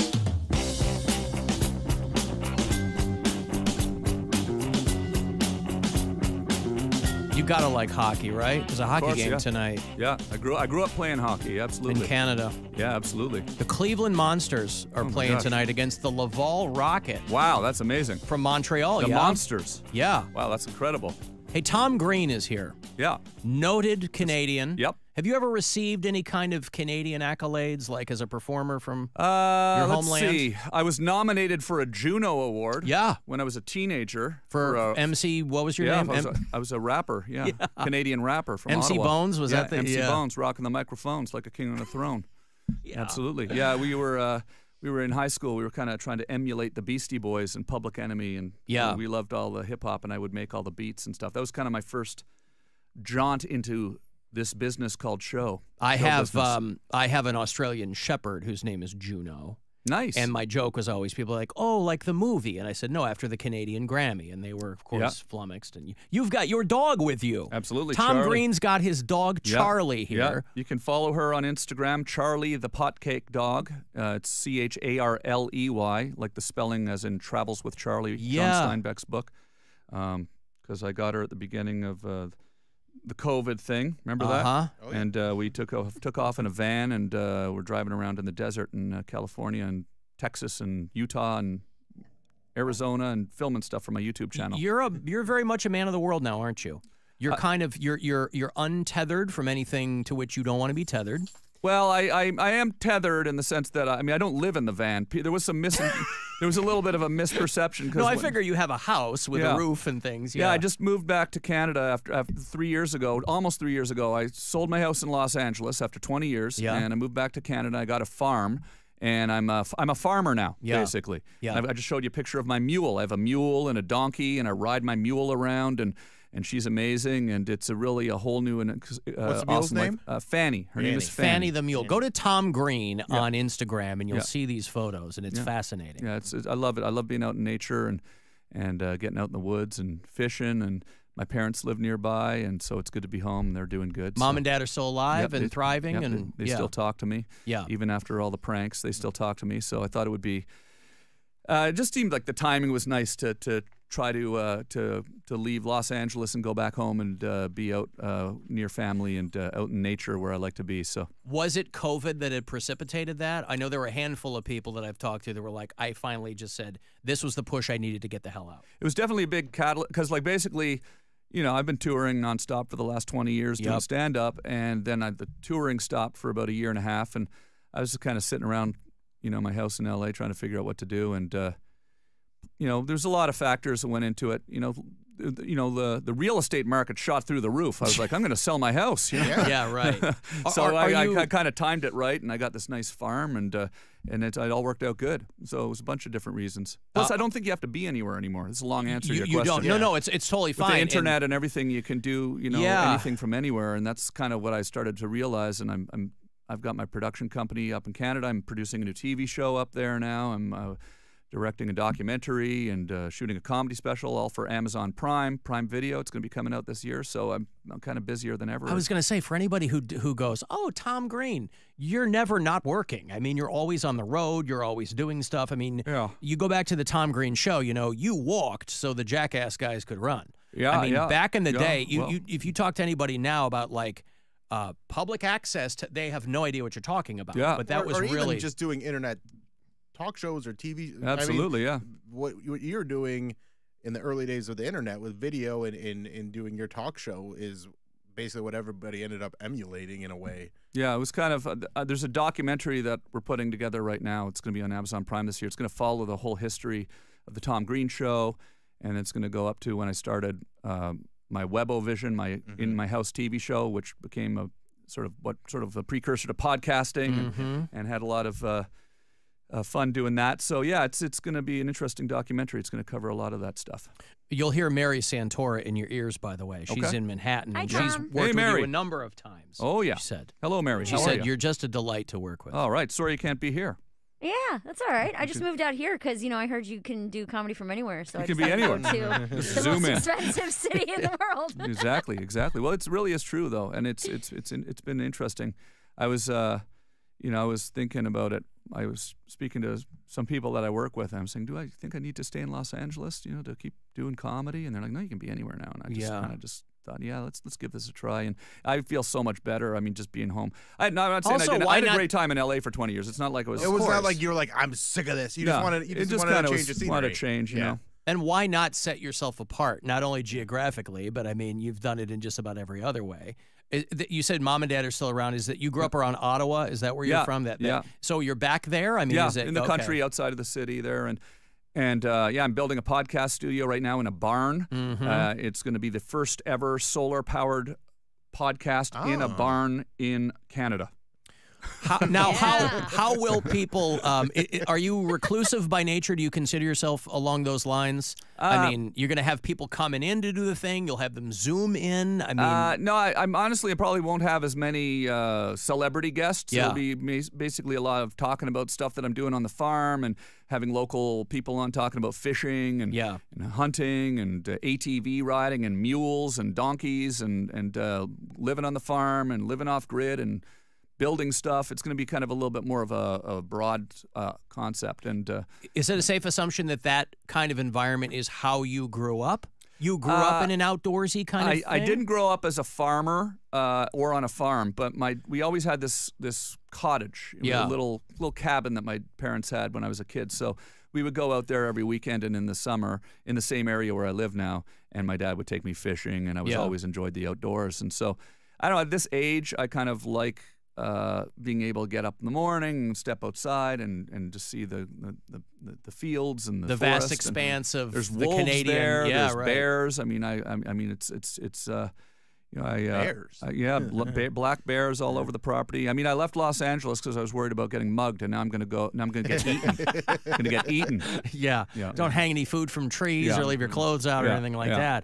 Well, I mean, mom and dad were white collar people. Yes. I mean, uh, yeah, they they work for they work for. My dad was military. My dad was a Canadian Army. We got an army. Yep. And uh, and he uh, was sort of a pretty strict uh, military captain upbringing, you know. So, but he's he's he's mellowed a lot now. But uh, so it was. Uh, so professionally, that part of that was a rebuttal of all that kind of strict. I think so. Yeah, the, the think so. rejection of all that. And I think yeah, so. I, they yeah. did support me though with my dreams of being a comedian. They they never, um, you know, when I For started the my stuff that you did on that show, they seemed to handle it pretty well overall. yeah Like, yeah they was- they never were screaming at you or trying to fight you. Like it was it was you know they were shocked a lot of times, but it was Yeah. never never like you're not my son or anything. Right. It like wasn't that. Freddy got Yeah. fingered in real life. No, no. Yeah. There was there was maybe a few moments where it got close to that, but Yeah. uh, no, they were they were they were. I think they kind of thought the show was funny. I think you know. Remember, it was this before YouTube and before Mhm. Social media, yeah, before for re- everything. really before reality TV, and so.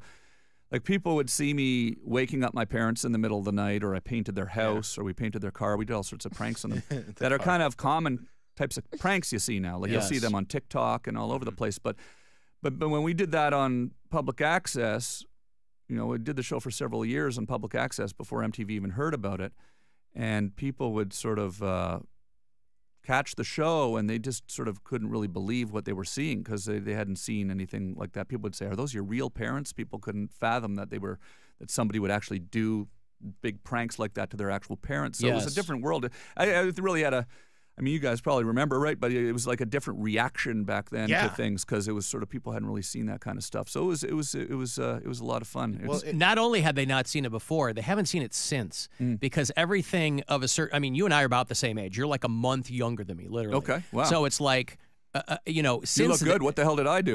I got to stop drinking. You were. I wasn't Lived in living that Tom Green life, boy. I was, um, painting houses is hard Yeah, work. you know? absolutely, yeah. But it's um, but but for for that for our kind of generation, I mean, even after uh, that that genre that you probably didn't even realize you were spawning.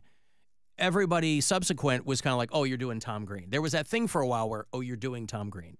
It's kind of you know it's interesting because like the reason I don't run around and do pranks anymore. There's a multiple like those kind of pranks. There's multiple reasons I guess. One is is it's it doesn't have the same kind of impact now. Like you can see this everywhere. You can go on. You know, I woke up this morning, uh, grabbed my phone before I was out of bed. I saw. You know, a Karen getting tased. Yeah. You know, Right. uh, Right. and and people screaming at each other and people being flustered and shocked and confused on video.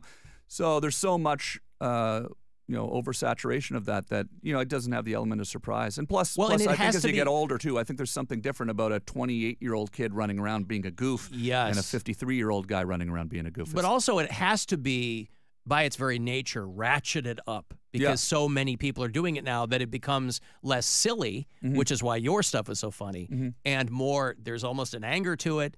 There's a competition to it. It's really weird. Mm-hmm. Yeah. just it just has a a lot of it has an uncomfortable vibe. Yeah, I love doing uh, stand up now because it's it's you know the purest form of comedy. I mean, it's a real live performance, and the last 15, almost 20 years now, I've been nonstop. I'm shooting my second stand up special now. First one was a Showtime special, and this one's going to be for Amazon Prime. Where are you uh, going to shoot that? Well, we're shooting actually all over on this tour right now. Oh, okay. And then I'm also shooting uh, a show in Canada that's going to be kind of the main theater show. But then we're actually shooting uh, tonight at at uh, Hilarities, Hilarities, yeah. and and tomorrow So and you're gonna have a little amalgamation of Yeah. all these different And it'll spots you've done. Yeah, it's going to be kind of a seamless Yeah. edit. It's going to be a, you know an hour long special that cuts from city to city. I like Yeah. that. Tom Yeah. Green is at Hilarities this weekend. I think there are only tickets available for tonight. Yeah. I think all the other ones are sold out. Exactly. Yeah. So if Thank you, want to go see Tom Green tonight, um, I mean, you could walk up at this point and get tickets tonight. But, yeah, you know, there's a few it'll be a- left, and uh, yeah, it's been cool. Like like I can drive here. I drove here from my farm. You know, I'm uh, we're on this tour. We're driving, so I just jumped Yeah. in my pickup truck and crossed the Canadian border. Went to Detroit, did some shows there. Then we've been in Michigan for the last week, and uh, Indiana and Ohio, and we we're here now. We were in Columbus last night, and. Uh, uh, Cincinnati the night before, and we're just uh, wandering the earth, hitting all the hot spots. yeah, Good for you. I'll tell you what. That's you know the, when people describe leaving and and they're on a farm and whatever you know. Um, obviously, there is to us we go, oh, there's something like uh, the American West or whatever. Uh-huh. But also, and I love Canada. I love, you know Toronto and Vancouver and all that. But that's where my mind usually goes. But it's it, it's important to remind people that most of Canada is rural. Yeah, It's yeah. a huge country. Yeah. It's not as densely populated as down here. Yeah. And so there's plenty of room to, you know, bob and weave around bears and have a good time. Oh yeah. yeah, I mean the the it's it's not a western ranch type farm. It's more like an eastern farm. It's a lot like the farms you would see here in Ohio here, yeah. when Yeah. you're outside the city and you see you know some. I got a couple hundred year old barns and uh, I've got a. The house was built in 1857. It's an old pioneer's log house which has been Mhm. refurbished and it's a nice little That's place cool. and I love it. There's something very peaceful about that, knowing like you just have that spot and you just kind of you know be there in nature.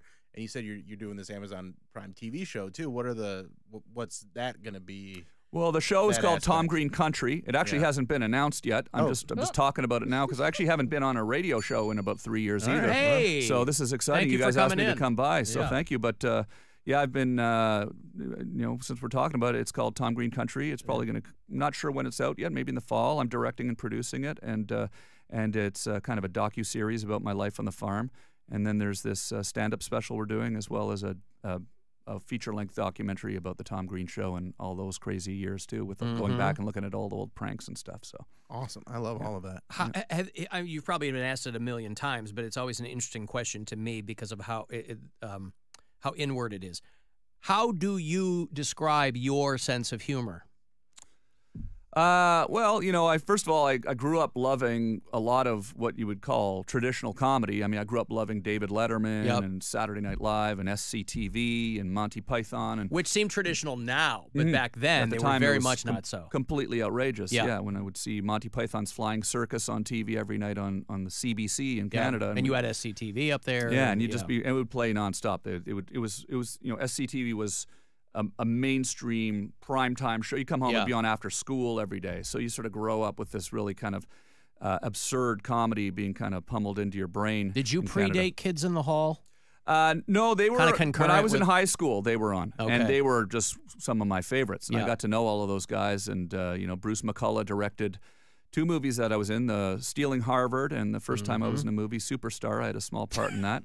Yeah. So uh, and uh, and he's awesome. And then I got to know all the other guys from coming up to my web shows and things, podcasts and stuff over the years. So that was, yeah, that's that was sort of like I think, I think in Canada we did have some shows that were they were on in the United States, but you know they were prime time in Canada. Yes. Everybody, when the kids in the hall came on, you know, everything stopped. You'd come into school the next day. Everybody was talking about the kids in Yeah. the hall in Canada. So, so yeah, it was. Uh, so I'm, I was very inspired by by that. I was also inspired a lot by skateboarding videos and uh, just being you know out on my skateboard and getting into sort of uh, you know wild and crazy interactions with security guards and stuff and kicking us out of things and the idea Well- of getting a video camera and filming all that kind of is where I think it was interesting how those worlds kind of blended together of Mm. comedy and skateboarding because there was some just silliness that went on with those videos that you, you'd see the cool tricks, but then you'd see them just do something outrageous, Yeah. just for fun and laugh at that. It was a lot of it was Yeah. just timing, you know. Yeah. The timing was I was at that right age when the video cameras and all that stuff was available. Right, and but I was doing stand up when I was 16 years old at Right. Yuk Yuk's in Canada, and I was I was really into stand up comedy, and you know I looked up to people like Robin Williams and Steve Martin, and uh, When as I- I, got older, I looked back at George Carlin and Richard Pryor and all the great comedians. So there wasn't a point where you were like, um, just kind of uh, going through all of those uh, different kinds of influences. A lot of times, people who are creative or want to be creative in a funny way, they go, "Well, is stand up for me or is improv for me?" Yeah, Had yeah. you dabbled in both, or were you like, "I'm I'm kind of a lone wolf. This is what I want to do. Stand up is what it's going to be."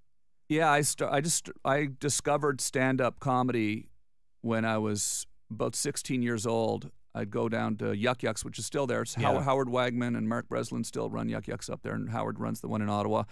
And um, there, you know, it, it- when you're 16 and you discover a stand-up comedy bar that you can go to, Right. and you start going out to a bar, and it's you know You hang out Thursday night, adults, and, and weird, yeah. And then Norm Macdonald was uh, was who became uh, a friend of mine, but was my hero when I was in high school because this was before he was on Saturday Night Live. He was in his 20s, rolling through. He's from Ottawa, where I'm from too. So he would kind of roll through on tour, and we would all, my friends and I, we kind of felt Star like Search back in the day. we right, kind of felt like we discovered this comedy club. It wasn't like everybody in our high school was going to the comedy club at the time. It was sort of a Mhm. new thing. So it was kind of an exciting thing to go down there and discover people like Norm Macdonald. And then when he went to Saturday Night Live, it was surreal, really, because you know here was this guy from our hometown hosting Weekend Update on Saturday Night Live. We had always sort of seen him as this guy's the most outrageous guy. You know, Mhm. you know, you'd watch comedy and it was a lot more down the middle. Uh, you know, every 10 years or so, somebody comes along and kind of dismantles what's going on, right? And he was sort of a, a, a disruptor, Right. And when we saw him, it was just like, it was just sort of great. You know, it was felt like he was Who do you see now where you're like, I really like what they're doing? Is there a performer Uh, you look at and you're like, I'm, I'm, I'm really? They don't have to be reminiscent of you. Just I love. that kind uh. I really like Shane Gillis a lot. He's Okay. amazing, Yep. and uh, you know, I have, I have, I I've, it's incredible what Joe Rogan's doing. I mean, I go on his, I just went on his podcast and went down to his uh, amazing comedy club, the Comedy Mothership in Austin, and I mean, what he's doing is is really. If you want to talk about disruptive in a in an incredibly interesting way, is he's sort of creating this whole new system for stand up, right? You know, all the comedians uh, it's the able to come through now. there, and and it really kind of uh, you know really is a launching pad for so many great stand up comedians. So you know, I but uh, I mean, I, I love so many great, you know, Tom Segura, Bill Yeah, sure. Burr, Theo Von, uh, uh, all, all all those guys that are killing it right now. You Bert wanna name a Kreischer. There's so many so funny people. sound so- uh, yeah, yeah, He's living in the. Canadian country, Absolutely. Bill. It's on brand. I said Richard Pryor. I know. Okay, yeah. Tom Green is at Hilarities this weekend. You are out of luck if you wanted to see him any night but tonight, but you should go tonight. All the other ones are sold out. Um, hilarities.com for the details. You could walk right around the corner from here and uh, get yourself a ticket. Uh, Tom Green on Instagram. He's got the farm. He's got the mule. Oh, yeah, He's bud. got Charlie the dog. Oh yeah, bud. Rescued from the Bahamas. Yep.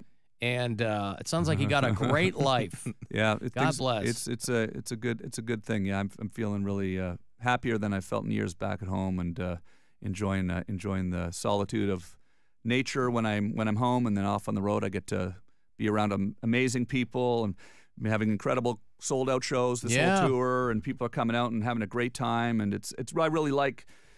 You know, there's people come to see the show because they remember the old stuff from the Tom Green show. They remember some people remember, you know, come because they love Freddy Got Fingered or Road Yeah. Trip, some of the movies, and then there's a lot of people that are just excited about the stuff I'm doing on YouTube now and Yeah. following along with Fanny and Charlie, and so it's, it's a really kind of a really broad group of people that come to the shows, and it's uh, it's it's been great. Do you have a Rip Torn story off the top of your head? Yeah, well, I love Rip Torn so yeah, much. He was he was amazing. He was the real Yeah, deal. he played my father in, in Freddy Got Fingered. And uh, there was a lot of people up for that role. So I directed that movie. So I met with all and wrote it. So there was, you know, it was a crazy time where, you know, major studios were letting me write and direct movies. And they Mhm. actually let me make Freddy Got Fingered. Yes. So uh, somebody was, uh, uh, you know, not thinking straight, I guess. But uh, yeah, so when that movie was being cast, uh, I sat down with uh, William Shatner, uh, Jon Voight, and uh, and um, James Woods. All Mhm. wanted to play my father, and Rip Torn. And Any uh, one of them who would have killed it. it was amazing, and I had it was a really tough choice, and uh, the studio actually really wanted Rip, and I was like, yeah, okay, yeah, that that's great. I, I, I love Rip, and Is that because his quote was the lowest as far as they were concerned? They were. That's I probably all they cared I don't. about. I don't really know. Yeah. I don't know. I mean, he was on the Larry Sanders Show. He was in Men in Black, so Yep. he was probably probably doing more relevant movies at the time than, Okay. than, than some of those guys. I don't know. I'm not sure. I don't know what the reason, but you know, it was it was great. I mean, he was great, and uh, and you know, we shot the movie in Vancouver, and he was. A, a, a, a nice man, but he was also sometimes a little bit like the character. He He's a was he fighter. was you Yeah. know, he- He's a little He did not yeah, suffer yeah. fools. Uh, Yeah. He was a he was a tough guy.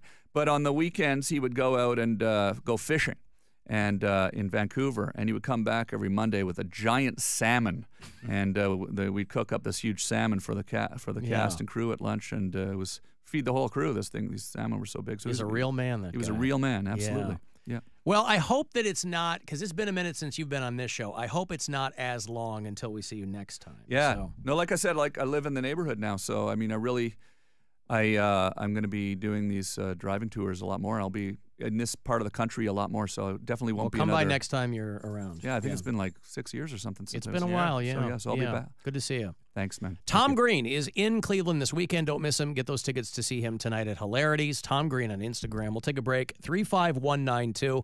Want to text for anything, and we'll be back. The Alan Cox Show, where you go on our free iHeartRadio app. This weekend, the buzzard backs up to the 90s. Welcome. You've got 90s. And we're going deep. Even deeper. Is that all you got? If you heard it here in the 90s, you'll hear it here this weekend. I want you to listen to me, and I will say this again. We will not play music from any other decade. It's nothing but the 90s on 100.7 WMMS. Get Spectrum, internet, mobile, and TV. Restrictions apply. Visit spectrum.com for details. The Busch Guide Cold and Smooth Survival Skills. For a successful stint in the great outdoors, pack accordingly. Place heavy essentials near your spine for stability in rough terrain, with light items near the bottom. Now, you may be wondering where does the Busch light go? In your stomach. Busch. Head for the mountains. Enjoy responsibly. Copyright 2024, Anheuser-Busch, Busch Light Beer, St. Louis, Missouri. Greatness doesn't happen overnight.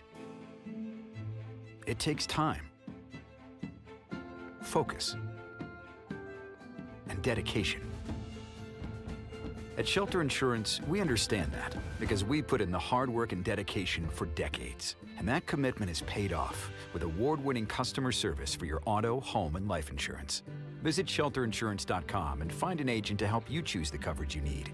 Shelter Insurance. We're your shield, we're your shelter. Mr. Hero's new Buds Value Menu has everyone craving to try one. And what if I told you that you can get the bacon cheeseburger bud for just $1 with any sandwich purchase? I know! Sounds too good to be true. I crave the hero. Hey, it's Alan. Cars for Kids is hands down the quickest, fastest way to get rid of your old car, no matter what shape it's in. So do a good thing without cutting into your schedule at all. Just go to carsforkids.org today. And remember, that's cars with a K. Spring into clean with Coit. Save 30% on everything Coit cleans. And Coit cleans everything air ducts, carpet, upholstery, area rugs, blinds and draperies, tile and grout too. Get the confidence of Coit's no risk guarantee. Plus, join the new Coit Loyal program for free. Get up to $100 in Coit cash to spend and more.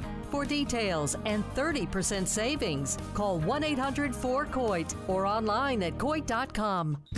This is your Thursday Sports Minute, brought to you by BetMGM, the king of sportsbooks. In the NBA on this Thursday night in Boston, the Celtics host the New York Knicks. Celtics 62 and 17, best record in the NBA. The Knicks come in 47 and 32. They're in the third spot in the Eastern Conference playoff race, right behind Milwaukee and just ahead of Cleveland. The Celtics a one and a half point home favorite over the Knicks. The Kings, the eight seed in the West. Pelicans, the sixth seed in the West. They're trying to hang on and avoid the play-in tournament. Kings a one and a half point favorite over under total 218 and a half. Signature bet single game parlays. Build your own parlays. Lots of ways to take action. BetMGM is the king of sportsbooks. See BetMGM.com for terms. 21 plus only. Gambling problem? Call 1 800 Gambler. Available in the U.S. Call 877 8 HOPE NY or text HOPE NY 467 369 New York. Call 1 800 Next Step Arizona. 1 800 327 5050 Massachusetts. 1 800 BETS off in Iowa. Or visit 1 800 Gambler.net West Virginia. In partnership with Kansas Crossing Casino and Hotel.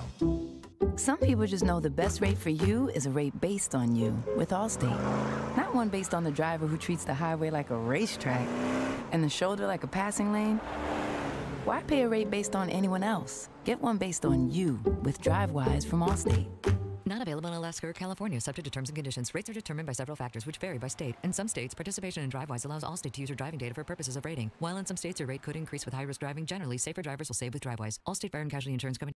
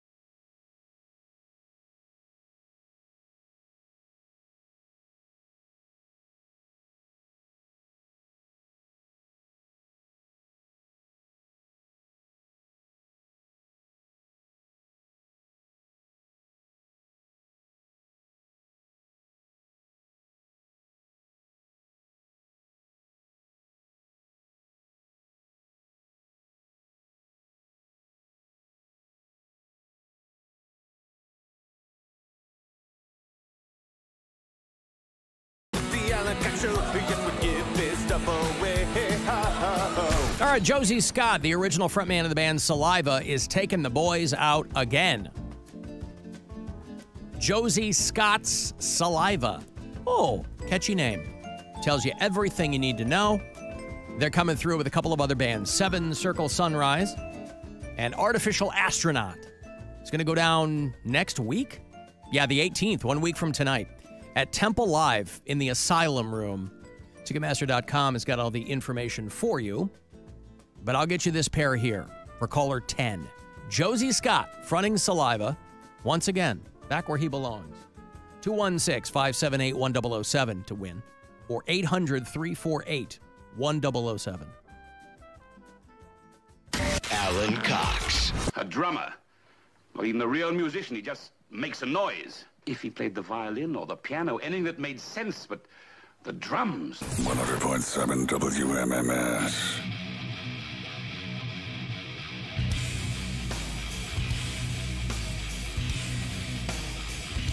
How about that Tom Green boy? Dude, he's such a great guy. He's a sweetheart. He was, uh, as Mary put it, how'd you put it? He was as advertised. Very, very nice. And again, we've talked to him before. It's Right. just been a long time. But it would be nice to kind of um, uh, be in a position to shed yourself of all that nonsense you didn't want to contend with anymore and get to see mom and dad and you're out on the farm and, you know, that's what we all want. Is that what we all want to eventually be on a farm? No. After it's all over for us in showbiz, we're all going to retire to a farm somewhere. I mean, you can just come back to Berea. I mean, you know, not for Honestly, you. You don't want to end up on a farm with a mule. No, Oh. nothing about a farm is appealing to me in any sense. Well, you're I not don't like working the being- farm. You're living on one. Not a working That's farm. what I'm saying. Oh, Like, I don't like the idea of being far away from stuff or people or groceries or coffee or anything. I like the idea of having like a cabin I can get away to when I can, but Right. in the the way my schedule is, I rarely have a weekend where I would be able to do that. So it's easier to just get an Airbnb when I want to get out of well, I don't mean that. I don't Yeah. mean. I don't mean But- now. Yeah, but eventually, Down the road. I can see myself down the road being in a m- much more rural place for sure. No. Like I'm I'm talking late 60s, early 70s. Like I don't think yeah. I'll ever like that. Why would you want to? Why would you Well, wanna- listen, I'm I'm I'm I'm absolutely an urban person, but those are usually the people who go, I gotta get out of here and go find some place I can breathe the air and blah blah blah. There's nothing to do. Well, you got to find, point. yeah, you find You things fish, to you do. do I mean, you nothing, yeah. fish. You have the grandkids come out and visit you. You're not going to have grandkids. I mean, that's off the table. It's the fake ones, right? The, ste- the steppies. Fake grandkids. The steppies like step me. gra- my yeah. step grandma. Yeah. Um, maybe. Yeah. But You- you- but you don't wanna even like your like nieces and nephews when they have they're growing up, they have, you know, they go, oh, we're going out to Great Aunt Mare's uh, No. farm Why do the kids sound like that? because they're from Kentucky. I do have two nieces from Kentucky. Mm, all right. I uh opened for Tom Green. This is in Tampa 15, 16 years ago. And that was one of the best weekends doing stand up I ever had because his crowd was so locked into just seeing anything funny. And Mhm. like and, and they were they were like so supportive of him and You can me. play with 'em. And well they just they just liked great comedy and I sold like three thousand dollars worth of t-shirts. Like I had all like I, I it was when I was driving everywhere, and so I drove down to Tampa and I had every shirt that I ever had made, and I sold every last one of them and made awesome. so much money. So I always uh, appreciate Tom for having not just great fans, but great fans with deep pockets. We still invariably at Casa Cox, Gwen and I, will, with some frequency, out of nowhere, just go, Daddy, would you like some sausage? Just start singing it. And, you know, I didn't want to go too deep on the Freddy Got Fingered because, you know, but there's a video of uh, my buddy Richard Roeper, who wrote for the Chicago Sun Times for a long time, and he replaced Gene Siskel on uh, Ebert and Siskel at the movies. Rich Roeper replaced, uh, I think, after Gene Siskel died. So it was him and Roger Ebert. And there's a great clip on YouTube of the two of them reviewing Freddie Got Fingered. And they're so angry about it. Mm-hmm. And it just makes me laugh so hard, not only watching the movie, but their reaction to it. Like they thought that the movie rating system itself needed to be changed because Freddy Got Fingered only got an R. I mean, they were like, and then they're showing a clip and they're talking. I'm like, I'm howling. I'm like, oh god, it's so funny. And that's why I wanted a Rip Torn story because Rip Torn played the dad, and you know, and he in real life, Rip Torn was like a hellraiser. This was a guy getting in bar Oh, fights. bar he's like fights, yeah, 75 just- years yeah. old, you know. So Yeah, I remember. I think it was Alec Baldwin told that story about him getting a. He's like, and on, on Seinfeld's comedians and cars, Yeah, yeah. And, and Seinfeld's like, when was this? He's like, when he was almost dead last summer. it's like last. Yeah. Oh God, it's so good. Let me find this. Rich Roeper and uh, and Roger Ebert. Carrie looked like Laurence Olivier. It's a vomitorium of a movie starring Green as Gord, an obnoxious retard who makes it his life. Now, uh, for, don't forget that. Yeah. How much has changed, right? This would have been. Oh It God, I, I'd have to so ask him. Off guard to hear that on the radio. Right, Roger Ebert, calling him that. Yeah. Starring Green as Gord, an obnoxious retard who makes it his life's work to freak out his dad, played with teeth gnashing scorn by Rip Torn. Oh, look, honey, our boy's a genius. He's rigged a pulley system so he can eat sausage and work on his stupid drawings. And being creative? Now, if you'll excuse me, I still have some work to do. Daddy, would you like some sausage? Oh my God. But yeah, they went on and on about how like they need to change the rating system because of this. Oh, it's so good. I love it. Alan, I was in Iraq in 2003 and Tom Green came while my unit was there and he was awesome. he's uh he's uh Canadian. He's unfailingly polite, right? Mm. Mm. Mm. Do his parents still have the slut mobile? Listen, there were a Hope so. billion questions, yeah, that I could have. Uh, but he did bring his rescue dog in. He brought Charlie in. He- Yeah. He, had mentioned before he went on the air that she was a rescue from the Bahamas. Right. That's like the only time you can take something from the Bahamas and be like, I'm rescuing it. Like, I rescued some bananas Yeah. that had a uh, Like- they had a spider in them that I ended like up. I'd rather be in the Bahamas, but Charlie's better off with Tom than in the Bahamas. Yeah, although the Bahamas are beautiful. Yeah, I've heard. There's no doubt about it. I've heard that. The Bahamas are beautiful. Alan with his controversial thought of the day. Well, no, no, not a hot take, but it's like it's it's you know when you travel to these places. When we went to Jamaica, Mm-hmm. you travel to these places that are objectively gorgeous, but they're also so poverty stricken Yeah. that you feel weird enjoying yourself. Well, I do, I guess. And you're and, and you know, and people are like, no, this is great. You know, like you're bringing tourism dollars in. That's how those people, you know, live down there. Show trip, show But trip. you feel weird yeah, about prove it. it. We, got, we freed up a bunch of money. Pound cake's got- gone. yeah, we got one less person to pay for. I'm How working. on- I- I'm how working on a show trip Cody that you're gonna be. love. He would be so mad. We're gonna go to Prague. Listen, we're I'm down. not. I'm down. I'll go. I'll go to Prague. Let's go. It's not a beach, Mary. You can't go anywhere. You live in New York. I can go wherever I want. New York doesn't have airports. They have a bunch. And actually, the don't one closest to my that. house was just recently voted the best airport in the country. Which one was that? LaGuardia. Because it's like brand new. They've Oh, because they redid it. terminal. Yeah, LaGuardia used gonna be say, a it be a nightmare. oh my God. Real hole back in the day. Yeah. I have never waited because it's like huge, dude. The way that I mean, I've obviously never saw it before this, but I've never waited more than like five, maybe ten minutes to get through security. Like it is a Oh, breeze. LaGuardia used to just so be many lines. awful. They Well, I gotta get in the- there now. The fast pass thing, right? The I have clear and Uh, pre-check, yeah. but a lot of the times the pre-check line is longer than the regular line. that's got that's a New York thing for sure because in Cleveland, anytime you, You fly, sail it is- through. Yeah, it is. You know how mad I was when I flew out of Cleveland with Brian and Blake, and he refuses to get pre-check. Refuses. A waste of my money. He sounds like a ninety-year-old man. He'd rather waste waste of my time money." than money. You can you can He- make more money. You can't make more time. He would. He would rather do anything than waste money. Well, it's not even a waste of money. I was It's like, not a "Dude, waste of money. Five Yeah. years, and he won't do it. He refuses to do it. So we're waiting in these stupid long lines, and I'm looking over at the pre-check line that's got three people. People in. Doesn't the line flying just make him mad? The line makes me mad. But doesn't it also make him mad? Yeah, he gets frustrated and But why he's- is taking so long and this, that, and the other. He's chosen to be in that line. Yeah, and I'll tell him, well, you could have spent seventy-five dollars and we wouldn't have to be in this line for the next five years. He did it so that you could get mad, and then you be, you would give him the first class seat. Probably It was it the was plan. all along. It Con- was- he didn't yeah. know I had been upgraded though. I didn't tell him that until we got to the gate. He knew it was going to happen. We He fell knows- in. he- We, he knows you're a big shot. we have discovered the perfect way to travel. We flew to Orlando, but my in laws drove.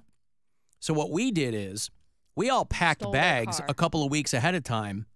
And when my wife was visiting them, she took our luggage and then they drove it down. So when we flew, we just had backpacks on us. It was awesome. Yeah, but that Pre check. I mean, what? how often is that actually going to? No, I know. What I'm saying is, I mean, but that's like our spring break trip every year is with the in laws down to Florida. Her dad Mm-hmm. rents a huge house or whatever. So I'm like, at least on that trip, because there's three of us going, it's not just me and Gwen traveling, you know. I'm like, that's how we're gonna do it. They're gonna we're gonna have them drive the luggage down. Now, I have to go get it from their house next week, you know, when I go see my older daughter. But but man, it was great. Because with the pre-check and you're not carrying anything or not waiting for anything to get checked, it was, oh my God, from like curb to terminal. It was Yeah, literally there's 10 nothing minutes. To do. Well, and that's the other thing is that I fly with United so often that I have like Premier Gold status with them. So my my first two checked bags are free. Whoever on my reservation gets two free checked bags, we get the um, Comfort Plus seating for free. So as long as Brian and Blake or whoever I'm traveling with is on the same reservation as me, they get access to all that stuff: priority boarding, lounge access, all that. So they flew back from Phoenix to Cleveland, not on my reservation because I was going back to Indianapolis to do shows. So they had he had to pay for his bag. He was in row like 28 and didn't have any access to like the lounges with free food and drinks and stuff at the airport. And he's like, "Dude, traveling like a poor person sucks. Like this is the worst thing." I've, I was like, "Yeah, but the only reason why we get all those perks is because I have spent thousands and thousands of dollars. Like." That's the only reason why we're getting all these express treatments and everything like that. I just don't know why you would opt to stand in line if there was a way. It's not like it's not like you have to pay every time. You I've- pay for believe me, TSA pre-check. I have tried, and it's good for five years. I have tried every year. We take two vacations where we fly, and I have tried every time to get him to get pre-check beforehand, and he won't do it. Hmm. He doesn't think it's worth it. Well, because he doesn't travel that much. Right, but it's good for five years. And my point is, even if you that's traveled ten flights where you don't have to. That's you're saving yourself at least four or five hours. Right. And you don't have to mess with all the nonsense with the belts and the. Sh- Are they still doing that in the regular lines? The belts and the shoes all and all of that them. crap. Depending on the airport that you're in, you don't have to take anything out. You don't have to take out your laptops. You don't have to take. And now again, I, I am going through pre-check more than regular screening, but there are some airports like uh, that they won't make you take your shoes off anymore. Where they're like, yeah, you're fine with your shoes, or you don't have to pull your laptop out. You just have to tell them which bag it's in Hmm. when you go through the general boarding. Hey everyone, hope you enjoyed the time off. This is uh, Eric from Penn Hills, Pennsylvania calling. I wanted to call to give Mary credit for something she said way back in 2022. Nope, this wasn't on one of the Some of shows from last week. I actually went back to some podcasts I missed back in 2022, specifically the day that you moved out of Oak Tree Boulevard. Now she said Hasbro, the game company, is it short for Has Brothers? You all laughed, but she's actually pretty close. It's short for Hasenfeld Brothers. Just want to give her credit. Suck it. what an arcane bit of information. He was listening to podcasts from two years ago. Has brothers. Yeah. Well, you guys give crap like that all the time. How many times have we given Cody crap like that and it ends up being right? I know we don't have to do that anymore. It could be the Has brothers. You don't know anything. Well, no, it's funny on its face, but it turns out to be partially true. You know, the best comedy, Mary, and I know I don't have to tell you this, is rooted in truth. Yeah.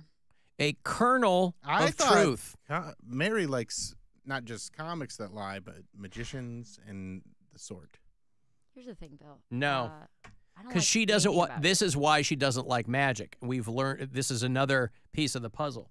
The reason she doesn't like magic is because she can't picture in her brain what's happening.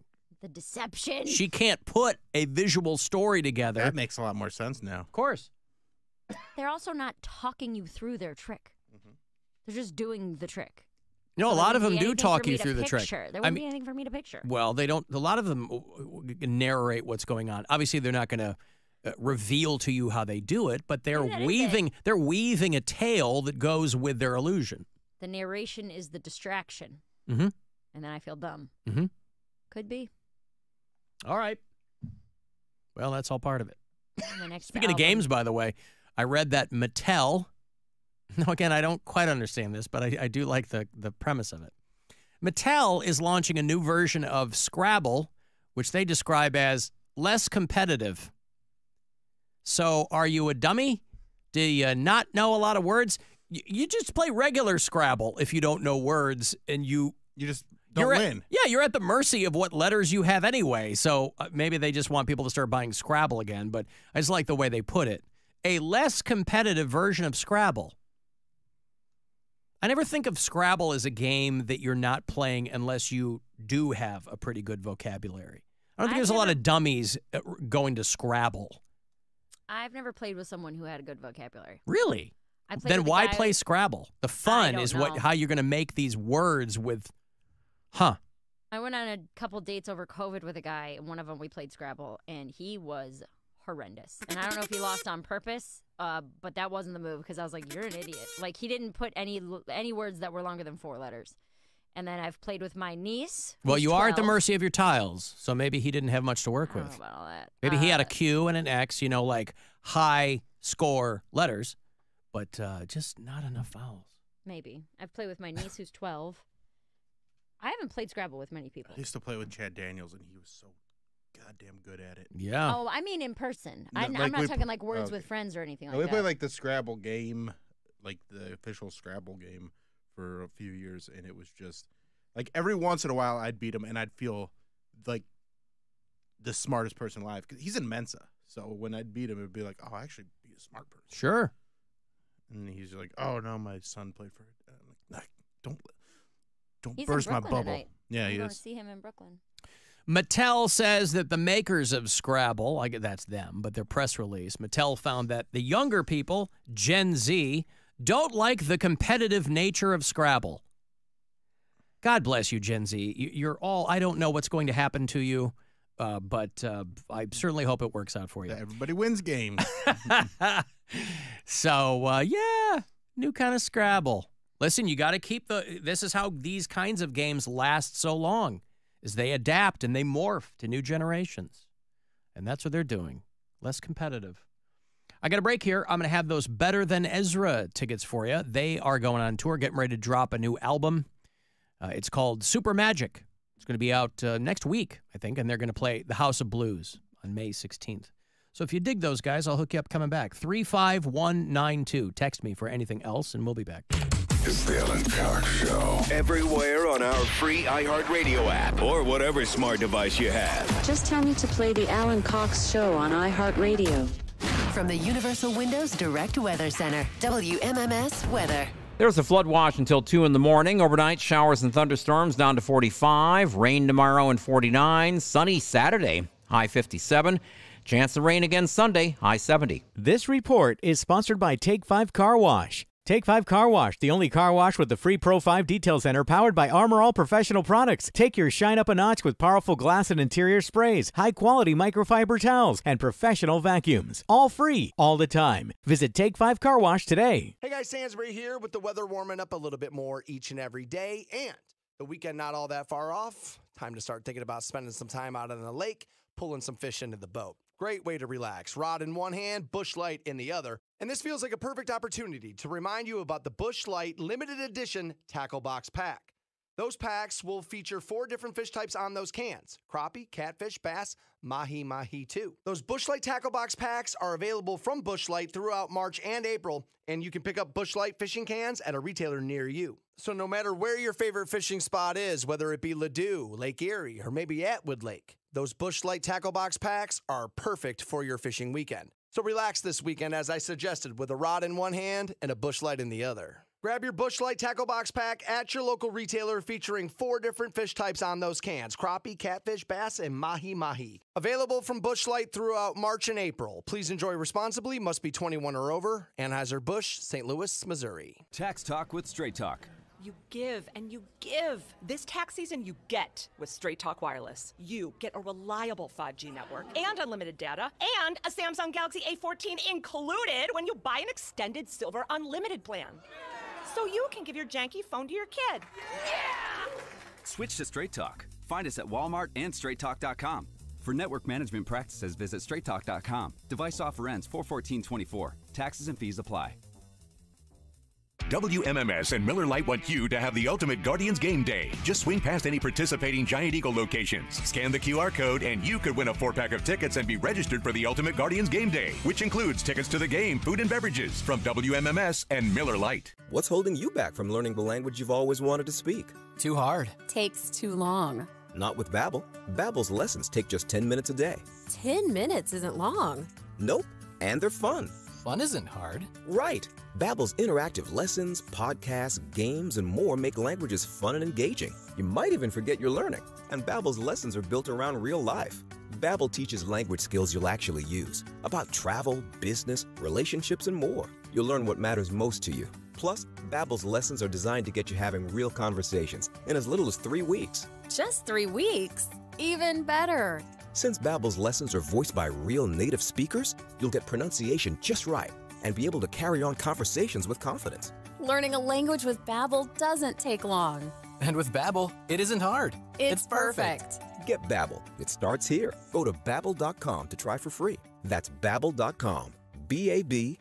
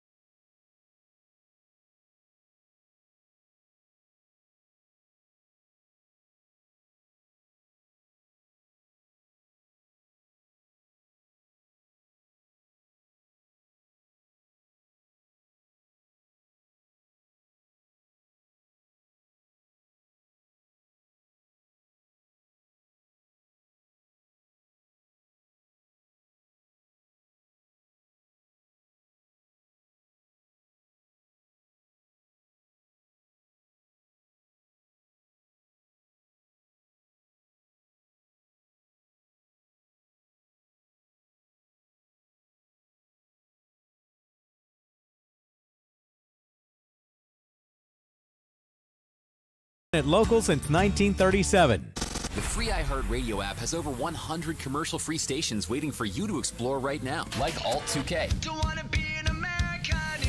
A commercial free look back to alternative from the 2000s.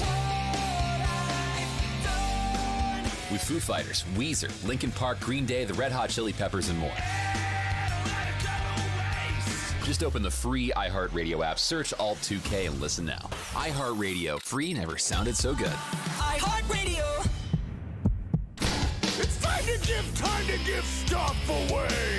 Oh, it's time to give stuff away. All right, I'm going to go see Better Than Ezra. These guys are back on the road. They're getting ready to drop their latest album. It's called Super Magic. And it's going to be out, I think, next week. The 3rd, May 3rd, it's coming out.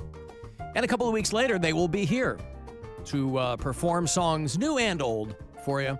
Better Than Ezra on the Live a Little tour, Thursday, May 16th. A couple of weeks away at the House of Blues, Ticketmaster.com, with all of the details for you.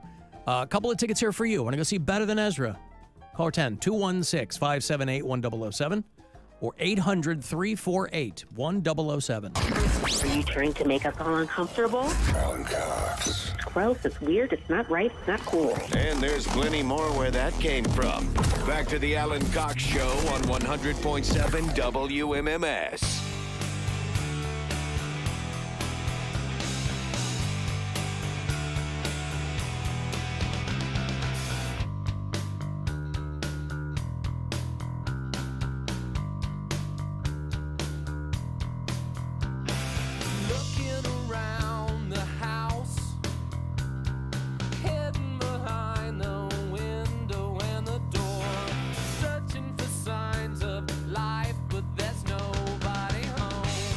Man, that bass right there in the front of the mix, too. So good. Yeah.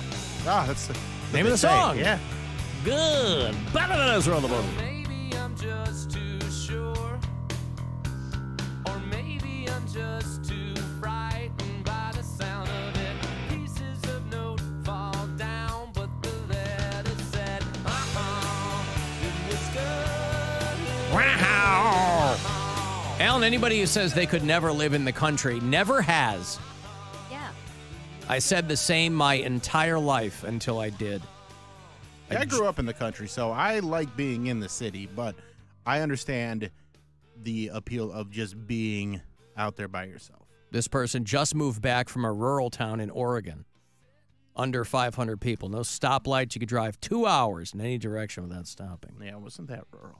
People are much more friendly. Well, my extended family were all rural people growing up, and I, you know, but they were like, it, seemed like more, um, I don't know, they were doing rural things. I mean, I, I, I liked being around, you know, people where there's stuff to do, and you know, that's why people who are out in the sticks are, you know, there's this argument. Let me order my thoughts here. There was because I was thinking about this this morning. There's some viral clip of some guy going around, as these frequently do, some chode who's like, you know, if a girl says she didn't want to have kids, that's a huge red flag 'cause she's selfish and blah, blah, blah. And I'm like, dude, there's a billion other things to take your time when you're living in the city and around people. The reason people are getting knocked up in the sticks, they're doing the same thing. They're trying to create people around them because they're in the middle of nowhere, it just happens to be kids they have to clothe and feed. But they're doing the same thing. They're bored and they're trying to put people around them. They're just ejecting them from their own body. Well, And- and that's why small towns generally have horrible drug and crime problems because there's nothing to do. None of those in the city. Well, but 13 year olds start using drugs and stuff like that because there's 'Cause there's no- literally yeah. nothing else to do. I mean, that's I feel like in cities, not that there isn't teenage abuse problems, like as far as like drugs and alcohol go, but there's other activities for kids to do around so a much room for activities. Yeah, but per capita, it might be the same. What kind of per capita? There are so many per capitas. It's uh, I don't have the figures in front of me, but uh, depending on what you're talking And you know, when you say per capita, there's many per capitas. It's like per capita relative to what? But you can look at just about any category, and we're really at the top, meaning positive on a per capita basis. I guess all the people I know from super small towns are like bad. They were bad kids. They were the ones who were you know, starting what does that fires- mean, though? Oh, starting fires pyromaniacs and and doing stuff? drugs and drinking alcohol and uh, you know stealing cars and stuff when they because there's nothing for else for them to do. There's no other outlets. And my girlfriend is from a small town, and she did all sorts of dumb stuff Getting because they were bored. Yeah. Yeah, shooting And off she- fireworks, yeah. missing a leg. And we She- did we we- did a lot of dumb stuff. She got pregnant. Is that what you said? No, she didn't. She was Oh, just she saying, she, didn't. was saying in general. She she did eventually get pregnant, but not when she was a kid. She wasn't a teenage mother. No. no. Yeah, I don't know. And I'm not saying that that can't exist in a city. I'm just not. I'm not a huge fan of. Try that of in a small town. Rural living. Brian's from Chesterland. Yeah, he's which out there. Not like it's not like a farm town, but there's a lot more room. And one of his biggest complaints is stoplights. That you could, I could go 30 minutes driving without having to stop. I'm like, what is Imagine if your complaint is a stoplight. But here's my point: you don't have to drive 30 minutes to get to anything if you're in a bigger city. The only reason you're nostalgic about that is because that's how long it would take you to get to the grocery store. Right. You know what I mean? I'd yeah, but the time, but the time, central. but the time you are saving, and again, I'm Team City all the way. But the time you are saving, not driving 30 minutes to get somewhere, you're still standing in line behind people. You're waiting. You might not be in a car, but you're still waiting to do stuff. Right? You're in a city. There's more people. I don't know. All those people are uh, going to do the same things that you want to do because they're fun. I could definitely. Chesterland's a tiny town. I could never. I don't think I could. I'd blow my brains out, dude. If I was like having to live on a farm where my next neighbor is two miles away and you have to go into town for, for provisions, like absolutely not. I'd probably end up going crazy. I Well, really you've would. always been anti-provision anyway. I know. You don't want anything provided You for do like a getaway though, right? I like a getaway for like two or three days. Right. But even then, I would like if we're gonna go into like a mountain town or a cabin. I mean, I'm talking like maybe, maybe a full weekend, because then after that, I start to get frustrated when everything's closed at 6 p.m. And I'm like, well, we have to plan dinner at 2:30 in the afternoon if we want to do any kind of an activity today. Otherwise, everything's going to be closed, and we won't be able to go to the grocery store or go get dinner or go do this or go have a drink and listen to music or you know. You know what I like about Mary? Easy going. I'm I you know what I learned about myself in sobriety? I am absolutely not. I know you're thought not. when I was a drunk, I thought I was like the most chill, easygoing, like go with the flow, whatever. And I was like, no, I was just hammered for a Why decade. does anybody, and I, I don't know if you can answer this because it's kind of a vague question, but just jumping off what you just said there, why does anybody think that they have a good handle on their personality when they're drunk all the time? Because it's all you know. You go, man, I thought I was this when I was drunk. I go, yes, but everyone else, including you, could tell you, well, that's because you're drunk. Once you I get sober, you go, oh, this is me. I didn't know the difference. You get what I'm saying? Hmm. I was drunk so often that now that I'm never drunk, I'm like, oh no, no, no. I'm not. Boy, I'd be angry if I could never drink either. I mean, I don't drink not much. even angry. Eh, I'm just irritated. not as oh, uh, no, I'm just not as easygoing of a person. That's not part of my personality. Hmm. I'm a lot more type A than I ever thought that I was. And um, how has that worked against you? Um, see, this is a disagreement I've had with my therapist on multiple occasions. I don't know that it has.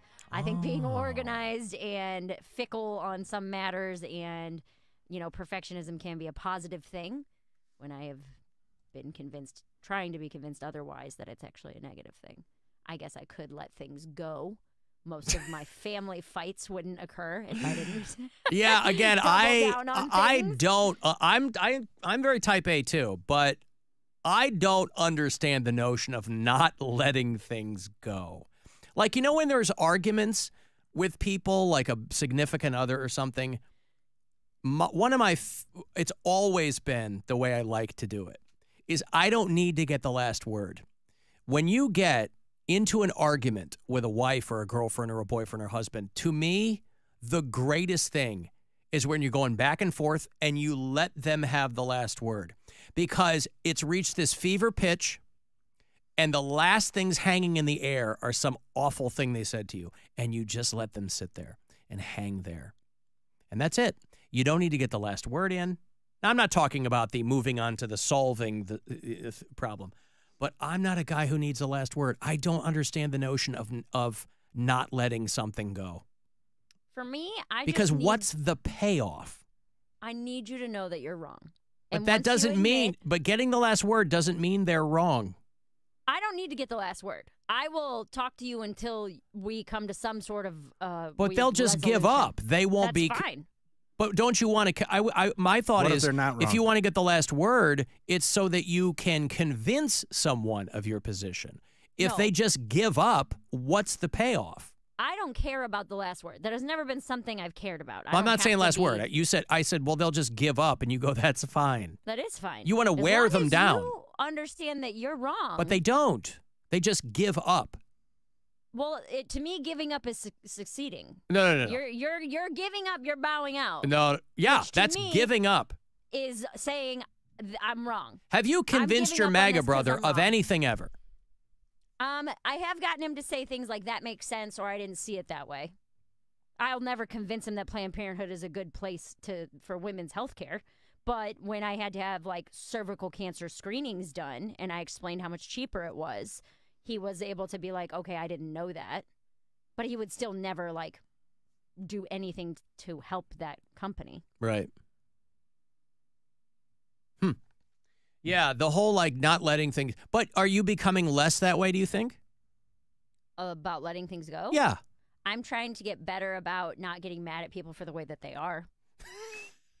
That's something I really, really struggle with. I get mad at people for the way they are I'm serious. It's Oh. a big problem in my life that I will, I will, because a lot of people will get mad at us for the way we are. yeah, Yeah. I'll get mad at people in my life, and I know it's how they're going to react. I already know what they're going to say. I already know how the they're going to react to a situation, and instead of knowing it and being like, okay, let's prepare for this because we know it's coming. I'm like so mad because I wish they would react differently. That's so exhausting. It's very exhausting, and it's Stop some I it. need to. I it's much much harder than you think that it is. Just, just stop No, I it. think it sounds really hard. It's very hard. Yeah. it's very very hard when I know exactly What a how waste of situation energy. is gonna go, and I'll like talk to whoever in my life, and I'll be like, I know this is gonna be a fight, or I know they're gonna show it. it and it'll be little stuff where it's like there's one person who's close in my life who is habitually thirty minutes late a- at minimum. Well, that's rude. That's Any not a weird thing to be upset about. But it's been since day one. Since this person has been born, they have been late to everything. That's rude, And though. I know it's going to happen. Yeah. And it bothers me every single time. Every single time that they show up late, I'm really frustrated and really aggravated. But I know it's going to happen, but that's inherently who they are Why don't you show up late so you'll get there at the same time? because that's not who I am. No, but you they're not. them- Get, but you know you're going to be waiting. Why don't you tell them to be there at? I've done it. You I've done tried that? to tell this And that- person. did it work? Thirty minutes Oh, no. prior. Where like if dinner reservations are at seven, I'll tell them to be there at six fifteen. Yeah. I'll get there at six forty five. They'll Yep. show up at seven thirty. An hour and fifteen dude, I'm minutes telling late. you, They're it's see- impossible. they see through you. They. It's impossible. You've zigged and they've zagged. See, this is the thing. Like, I hate tardiness, man. Like, I, I'm uh, I'm also with that. Like I like to be on time. I like to be. Uh, Five I minutes I- early is on time, Bill. Yeah, I- on time is late. I don't like making people wait for anything. Like, No. that's, that's very rude to me.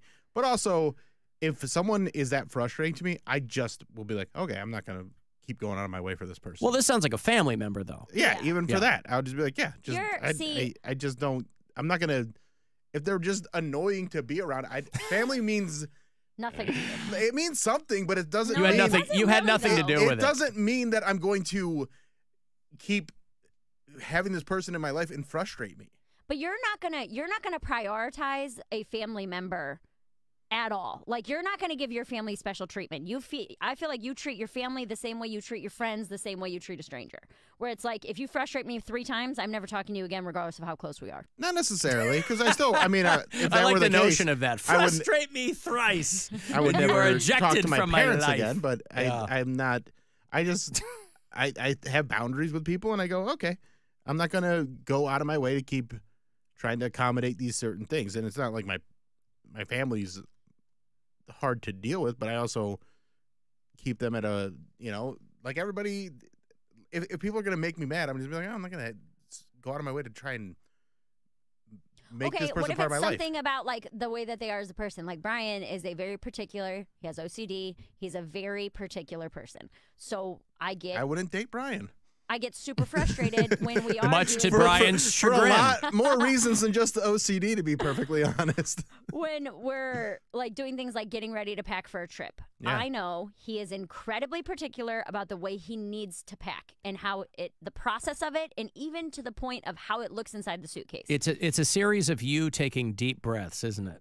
It's a lot of me having to walk away. Yeah. I- because see, I'm that like, wouldn't none bo- of this matters. This that- does it does not matter what the inside of your suitcase looks like. That wouldn't bother me because that's him doing his own thing, and it, if if he's taking the time and doing it, and he still shows up on time, Yeah, right. I, I don't I don't care how he packs his Yeah. bag, and and I'd probably just be like, pack mine too. Hey, I don't. where care. are my packing cubes, honey? Yeah, I I'm a I'm a jam stuff in there. Yeah, he That is. would Yeah. me too. Yeah. That's So- like the whole thing of perfectionism is that you want everyone to do things the way that you do it because you think your way is the best. But why? Ninety percent of the time, it's not. But why? It, what? Why? Why does the way other people do things like just do the things the way you want to, and let other people do things the way they want to? That's to? the whole problem with it. right. But um, why don't you just listen to me? You're so because you're so annoying. Because, you like this, like this. I, I almost did. I, dude, I had to stop myself because you do things like this, and I know you're gonna do it. I know you're gonna try to get under my skin over something stupid every day. Mhm. and I know better than to let it happen. but you're so annoying and aggravating that it ends up happening anyway. And I'm like, why can't Bill just not be who he is? Wh- But why can't you just listen to me? But also, why not? What the- what no. happened? How am I wrong if um, if what I'm asking you to do is what you're trying to achieve? Because I don't want to hear it from you. But am what I- happened? Oh, don't kill the messenger. it's not the message; I it's the already know it. messenger. I already know it. So then just do it. But what need to hear it happened? What happened to work smarter, not harder? what do you mean? Well, people that I don't necessarily think are all that bright or what, you know, you can learn something from everybody that you can kind of apply to your own situation and go, wow, I, I would not have considered that. It's almost like they stumbled onto something amazing in their stupidity.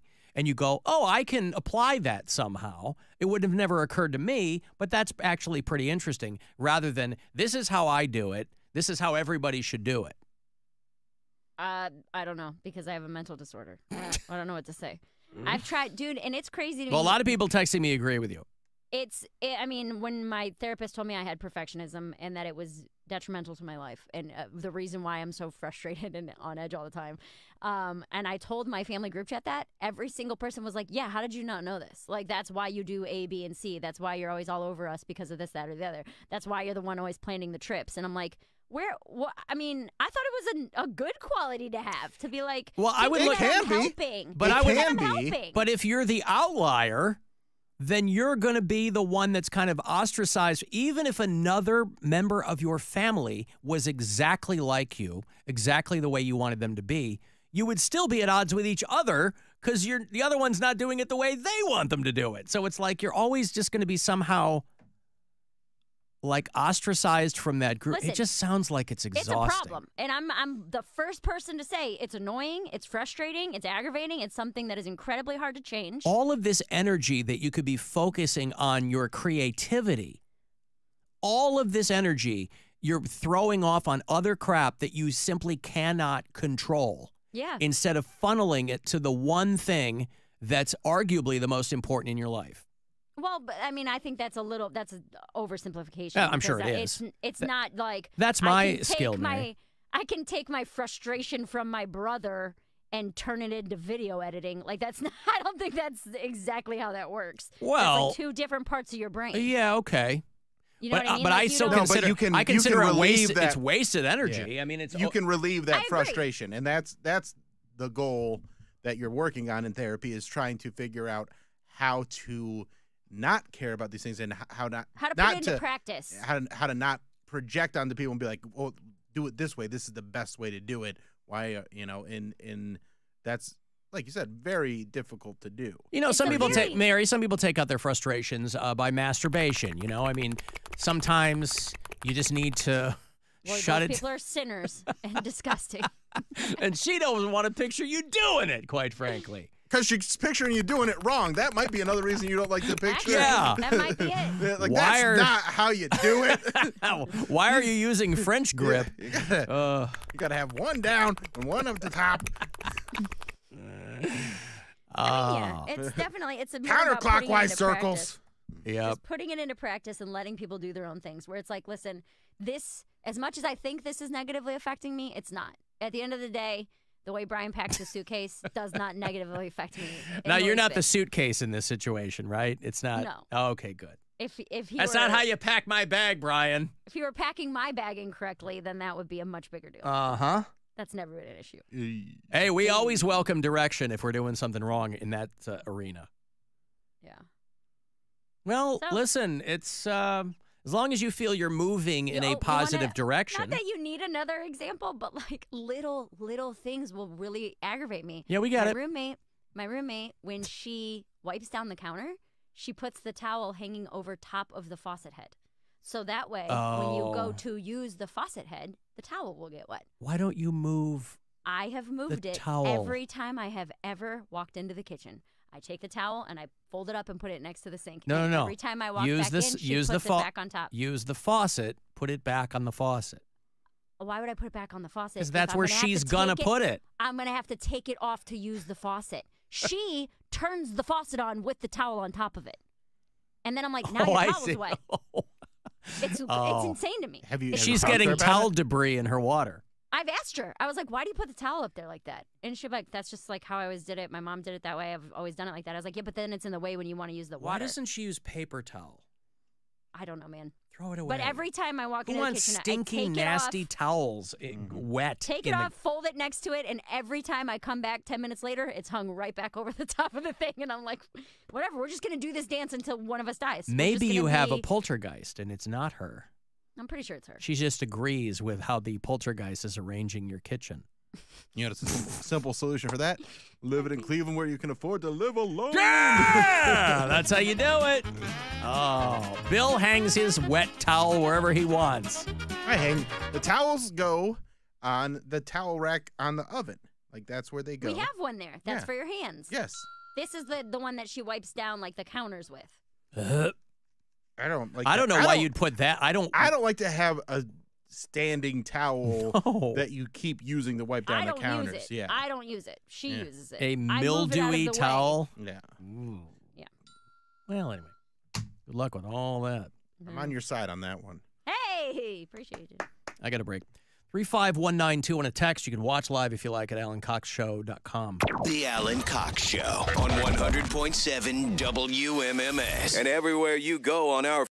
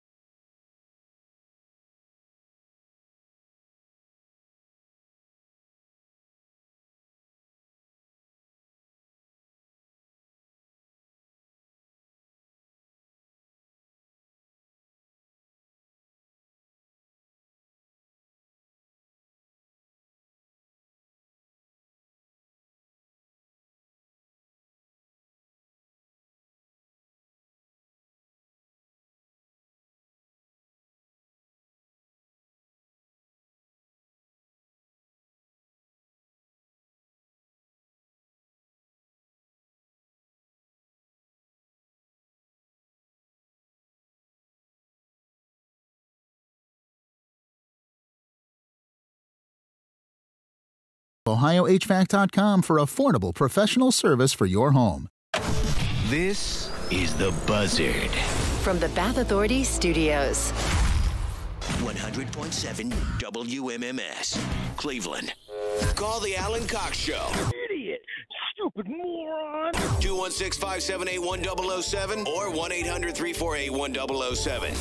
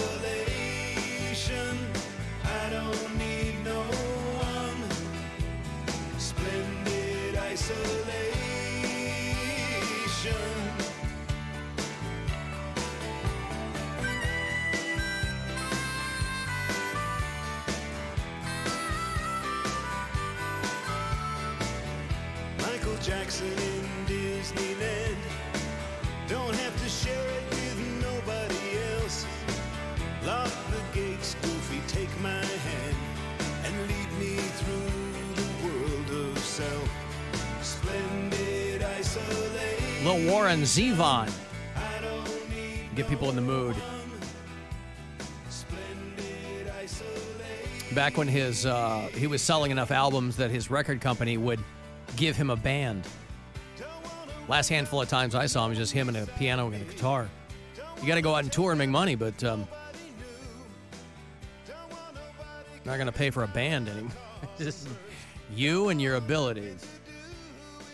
Cavaliers and Guardians both grab wins last night, both off tonight. The Guardians beat the White Sox by one. Seven to six was the final, so they take two of three in that home opener series there.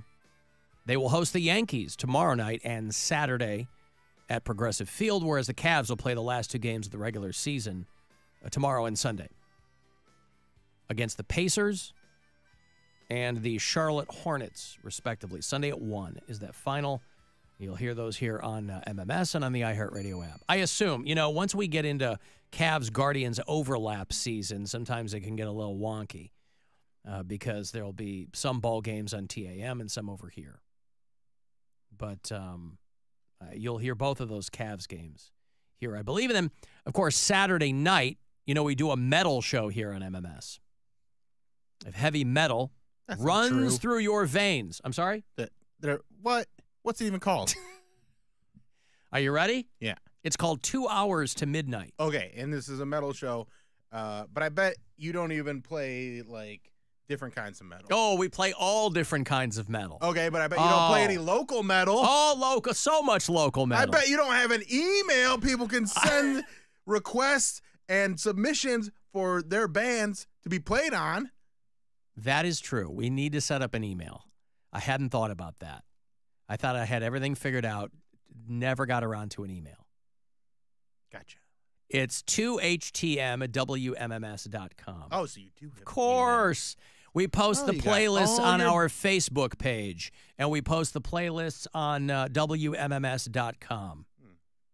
Local bands this weekend uh, Voltan, uh, Like Tyrants, Convey the Signs, uh, some brand spanking new metal from a handful of bands.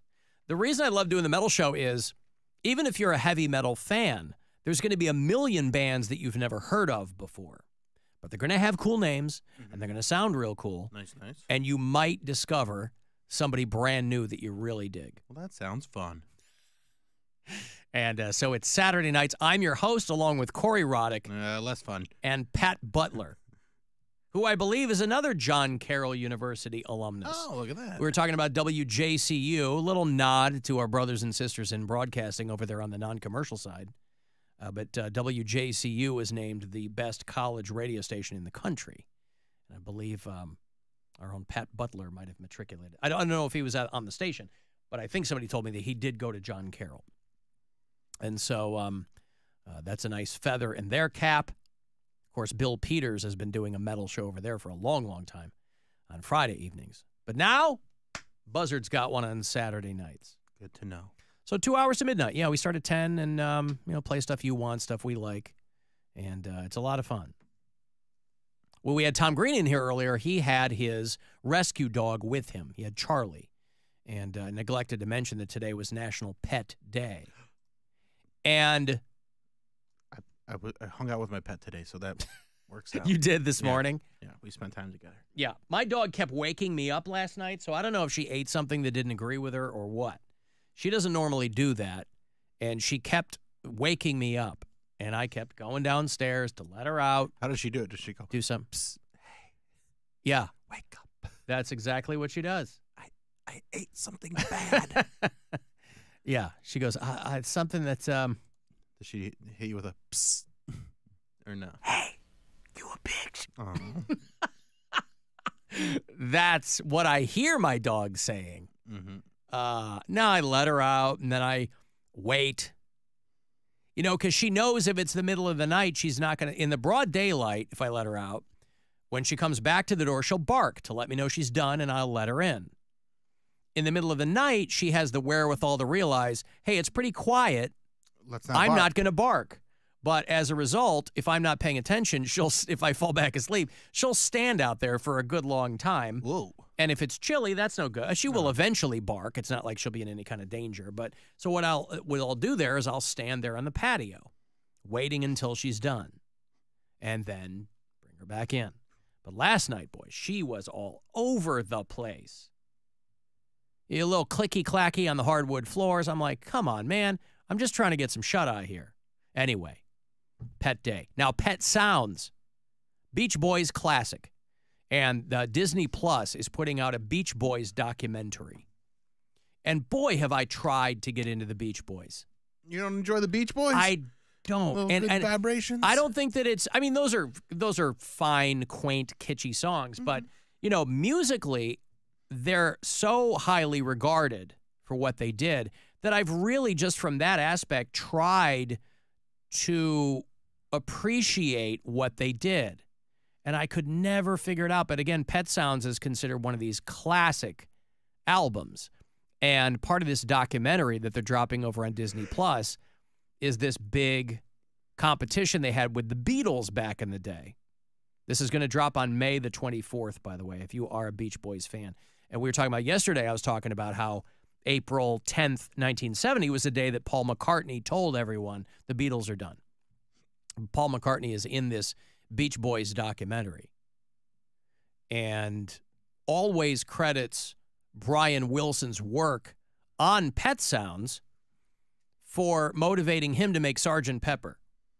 Now, uh, you know, to some people that might not have been good motivation, but they ended up being friends anyway. We ended up, it's kind of like a rivalry. The Beatles, bring 'em on. Here are the Beach Boys. If one group didn't have the other, would their music actually be what it became?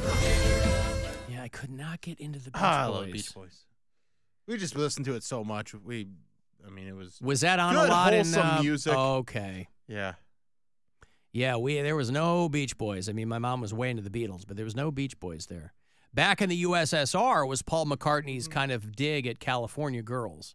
That was not dig. It was like uh, more tongue in cheek, but yeah. I, as much as I've listened to Pet Sounds, people are like, oh, it's this revolutionary. Blah. I'm like, man, I could not get into it because I think of Kokomo, and I mean, it's all feel good music, but to me, the Beach Boys were like, you know, they were in the same vein as Jimmy Buffett.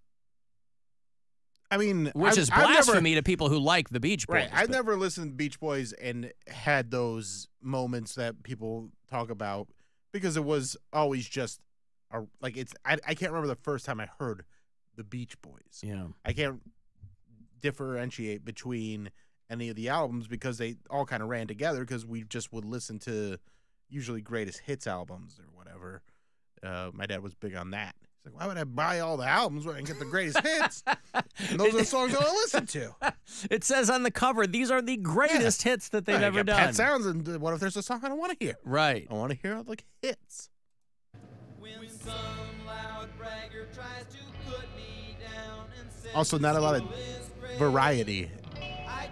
Well, that's what I- you mean in the sound of their songs. Yeah, I mean, they yeah, are- it was very much of the time. I mean, I get it. It was surf music, and it was you know, but Pet Sounds was "Wouldn't It Be Nice" and Yeah. Sloop John B. and God Only Knows. Great, and great songs. All, all huge, great huge songs. songs. You know.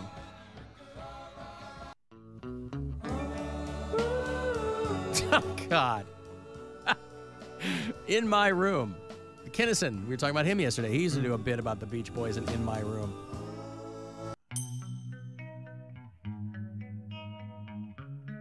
I think maybe it was too wholesome for me.